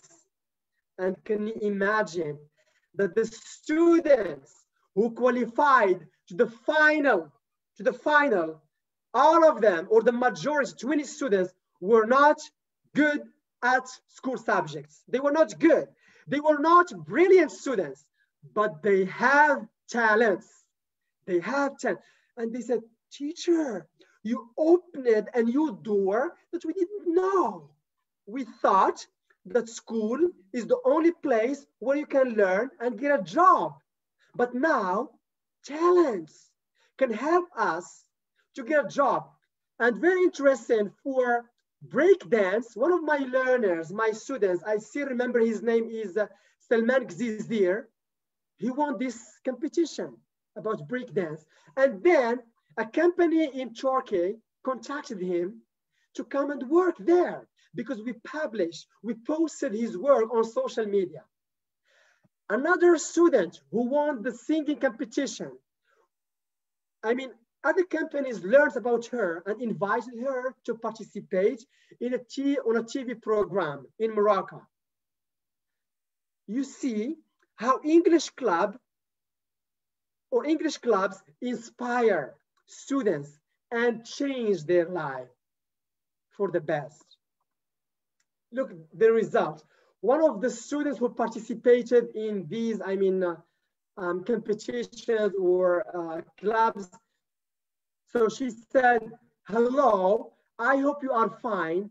I, I just want to thank you for all these amazing moments you gave us and for giving us the, the opportunity of showing our talents to the public. I didn't even know if I can perform in front of, I mean, others until you came to our school, Hassan II, and made my parents proud of me. Thank you so, so, so, so much. And also our visit to the parliament was one of the things that I thought will never happen, but you made it real. Thank you. We met new friends, new people, new teachers, new family. And even if I hadn't won the prize, I won the heart of new people. Thank you. I will never forget these moments. You see, she's inspired by English clubs. She's inspired by doing activities outside the classroom.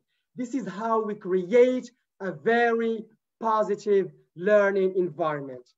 The conclusion, teaching adolescent learners is challenging. Yes, it's challenging, but rewarding. Look here, it's very rewarding. Read what Hajar said. She's inspired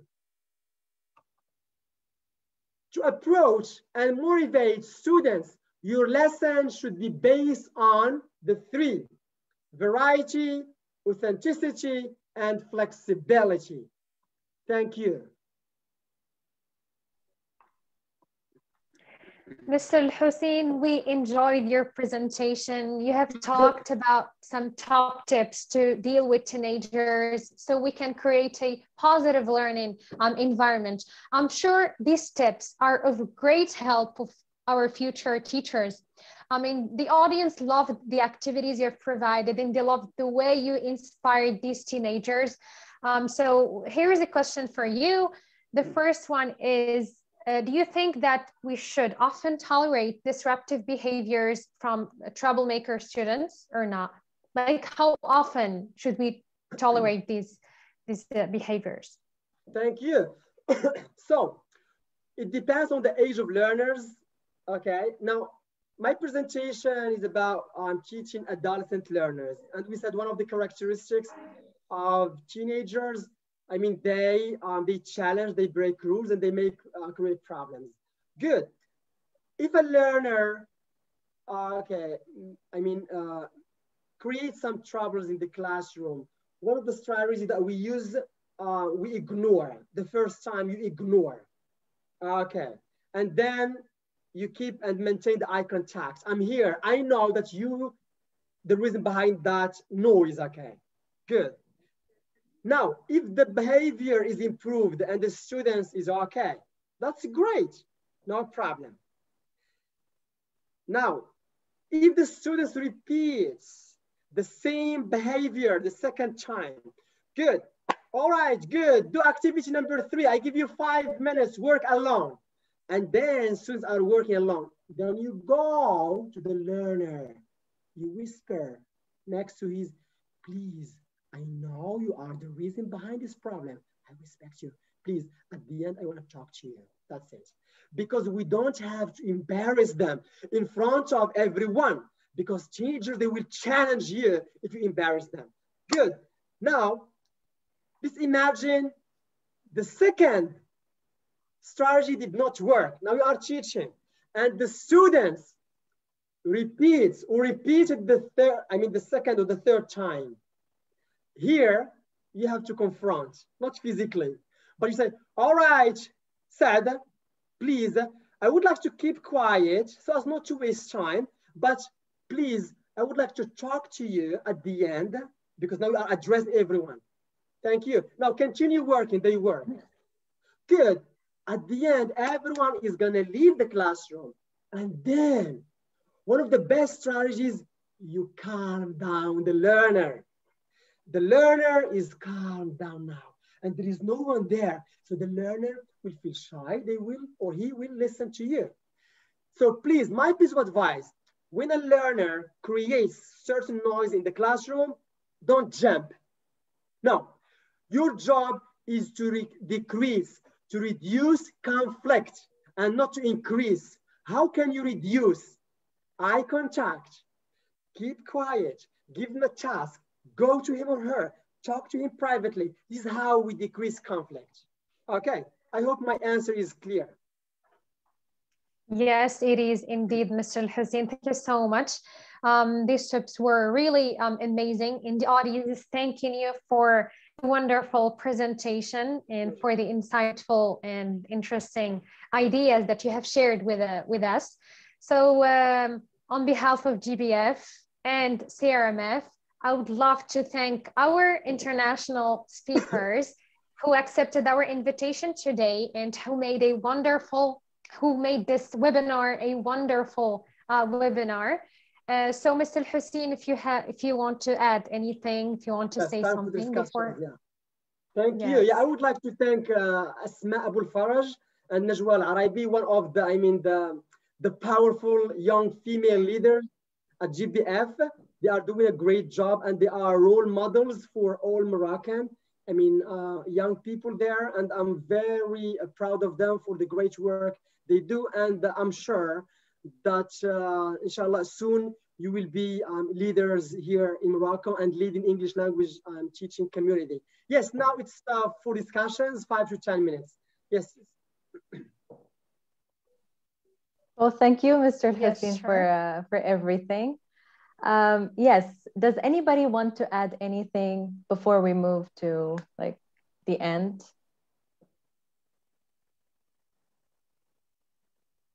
Does anybody from our guest speakers have any questions for Mr. Hussein or for any other speaker? Um, there is a question from the audience. Mm -hmm. um, it says like, uh, I have a question concerning adolescents' behaviors. You mentioned that they try to cheat in a situation where the student treat the teacher to cause him or her harm. If she or he did not let her or him cheat, what should the teacher do in such situation? Like if the teacher does not allow students to cheat, what, what are you going to do in I don't get your point. So the teacher will not allow learners to okay. cheat? Yes, and then the like the students will be like uh, will not tolerate it, will not accept it. So what are we going to do in this in this case? So let me share with you a very nice story. When I was teaching at the high school, uh, you know, uh, there is teachers movement. You can move from one or two years to another school or another city. And I moved to another uh, school and that school is considered one of the oldest, I mean, schools in the city. And it was uh, a difficult situation to teach there because uh, maybe because the school is located uh, in a very popular uh, neighborhood. And it was the first time I teach there and it was the time for giving students exams, okay? And then it was the, the exam day. And then I I, distrib I distributed the exam sheets and then they started cheating. I said, listen, it's an exam. They said, it's a habit here, it's okay. And then I was kind of trying to, um, to convince them and trying to monitor them and trying to control them. But it was beyond my well, because the majority of learners, uh, I mean, uh, it was a kind of a, a, a, habit there to cheat. So what did I do? I told them to, I mean, uh, uh, there is no exam uh, now. And then I refused all the exam sheets. And then I went to the administration and asked about the situation here. It's okay to, if I'm gonna be somehow very tough, I mean, with learners, because the majority here, when I give them the exam, they all started cheating. Yeah, the, I mean, the administration was very supportive. And then the coming, I mean, week, we had some, I mean, admins, I mean, who came and joined me in my class to, I mean, to monitor and control all the class. And this way works. So sometimes it's beyond your will, then you need help from the, from the admin. You cannot solve the problem. It's collaboration. And you know, one of the 21st century skills is collaboration. You have to collaborate with the admin, with your colleagues, with your parents, with everyone, especially if there is an, an issue going on in your school. Yeah. Yes, absolutely, Mr. Hussein Qasserras. I'm sure uh, you're. I'm sorry. Yes, yes, yes, go ahead. I want to say that we as teachers, our role is to increase students' awareness that if they teach, they act against themselves. Because um, what if your friend whom you are helping cheat in the exam does better than you and you have studied very hard and unfortunately your friend who did not study at all is going to write an exam you know much uh, in a much uh, better way. So we'll get a better mark. So we should um, increase uh, their awareness that it's important. They do not cheat. They do not let others cheat off their papers um, so this is uh, our one of our tasks as well. Yes, thank you. Uh, I do have a question though. Uh, so, of course, I, I do think that teachers should know their learners a lot and, and they should know like how their psychology is. But um, for example, last week I was tutoring my cousin and he is very very hyperactive. Like i don't know if this is a, is a disability but he does not really know how to sit down and and steady. He needs to be active. Uh, his his body also needs to be i mean moving and he's easily bored. So how can we deal with situations like this? For example in the classroom when there are students who want to who are basically kinesthetic yeah, my question is for anyone who wants to answer. Yes, uh, so basically one of the, I mean, the hard task the teachers may have is when you have a learner or two or three, they keep moving all the time. They, they are over, I mean, uh, uh, active, okay, in the classroom. So if you are teaching again teenagers and you have one Ismail or Karim or Leila or James or Laura, I mean, a very, I mean, uh, active negatively in the sense of being negative. Number one, you can um, bring him or her in front of you. Because if you put him or her in the middle or in the center of the classroom, he's going to, I mean, distract, I mean, uh, a lot of uh, students. And then, uh, I mean, uh, as a teacher, you should know that kinesthetic learners are, they are like this, okay? They move a lot. So you have to design activities that are based on physical movements, okay? For example, go to the board and write. Ismail, because I know Ismail is a, a, a very, I mean, um, uh, proactive Active learner. Or, and, Yes, and a kinesthetic learner. So whenever there is, uh, I mean, I, I mean, um, activities based on uh, physical mo movements, I will encourage him or her. When, when I want um, someone to write on the board, uh, uh, on purpose, I'm going to call only that uh, kinesthetic learner because here we, we, satisfy the different learning needs. But at the same time, the code of conduct, as I said in the very beginning, is very important. Before you talk, raise your hand. If you, if you need something, ask the teacher.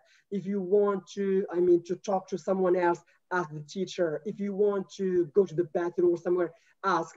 So the code of conduct also is very important, but uh, at the end, uh, you may have some issues with these types of learners, but if you love teaching, you will see them as sweet and as candies, even though they do these problems, but you love doing this.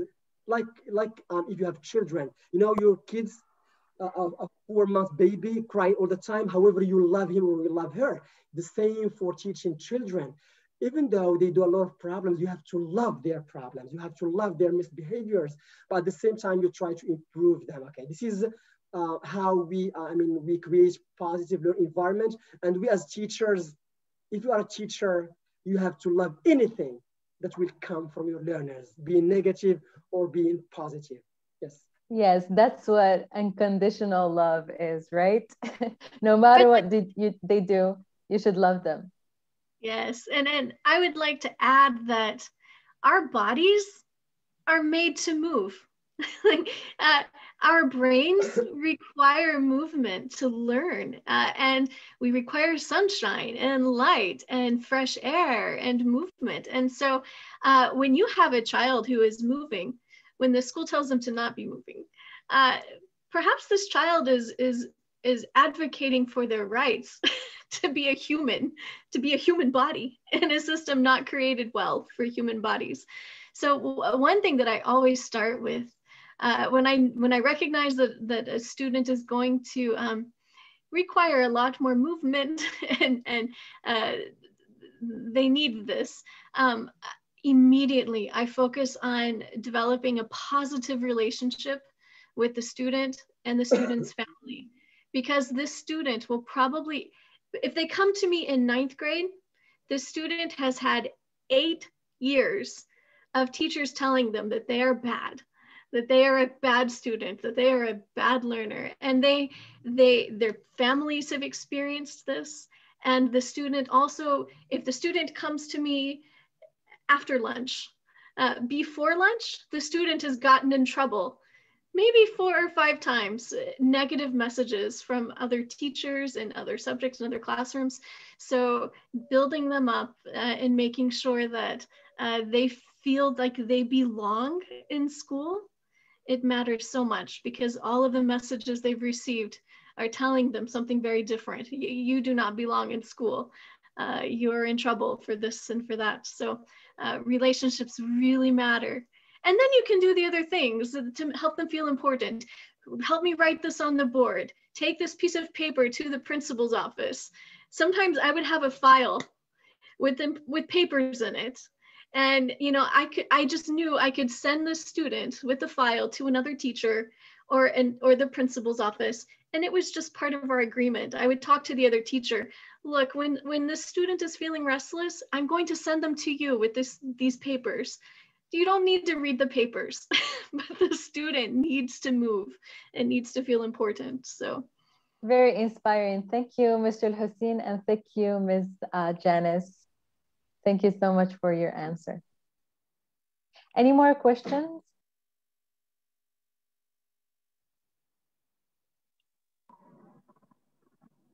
Yes, Mr. Jamal. So let's um, close today's uh, event.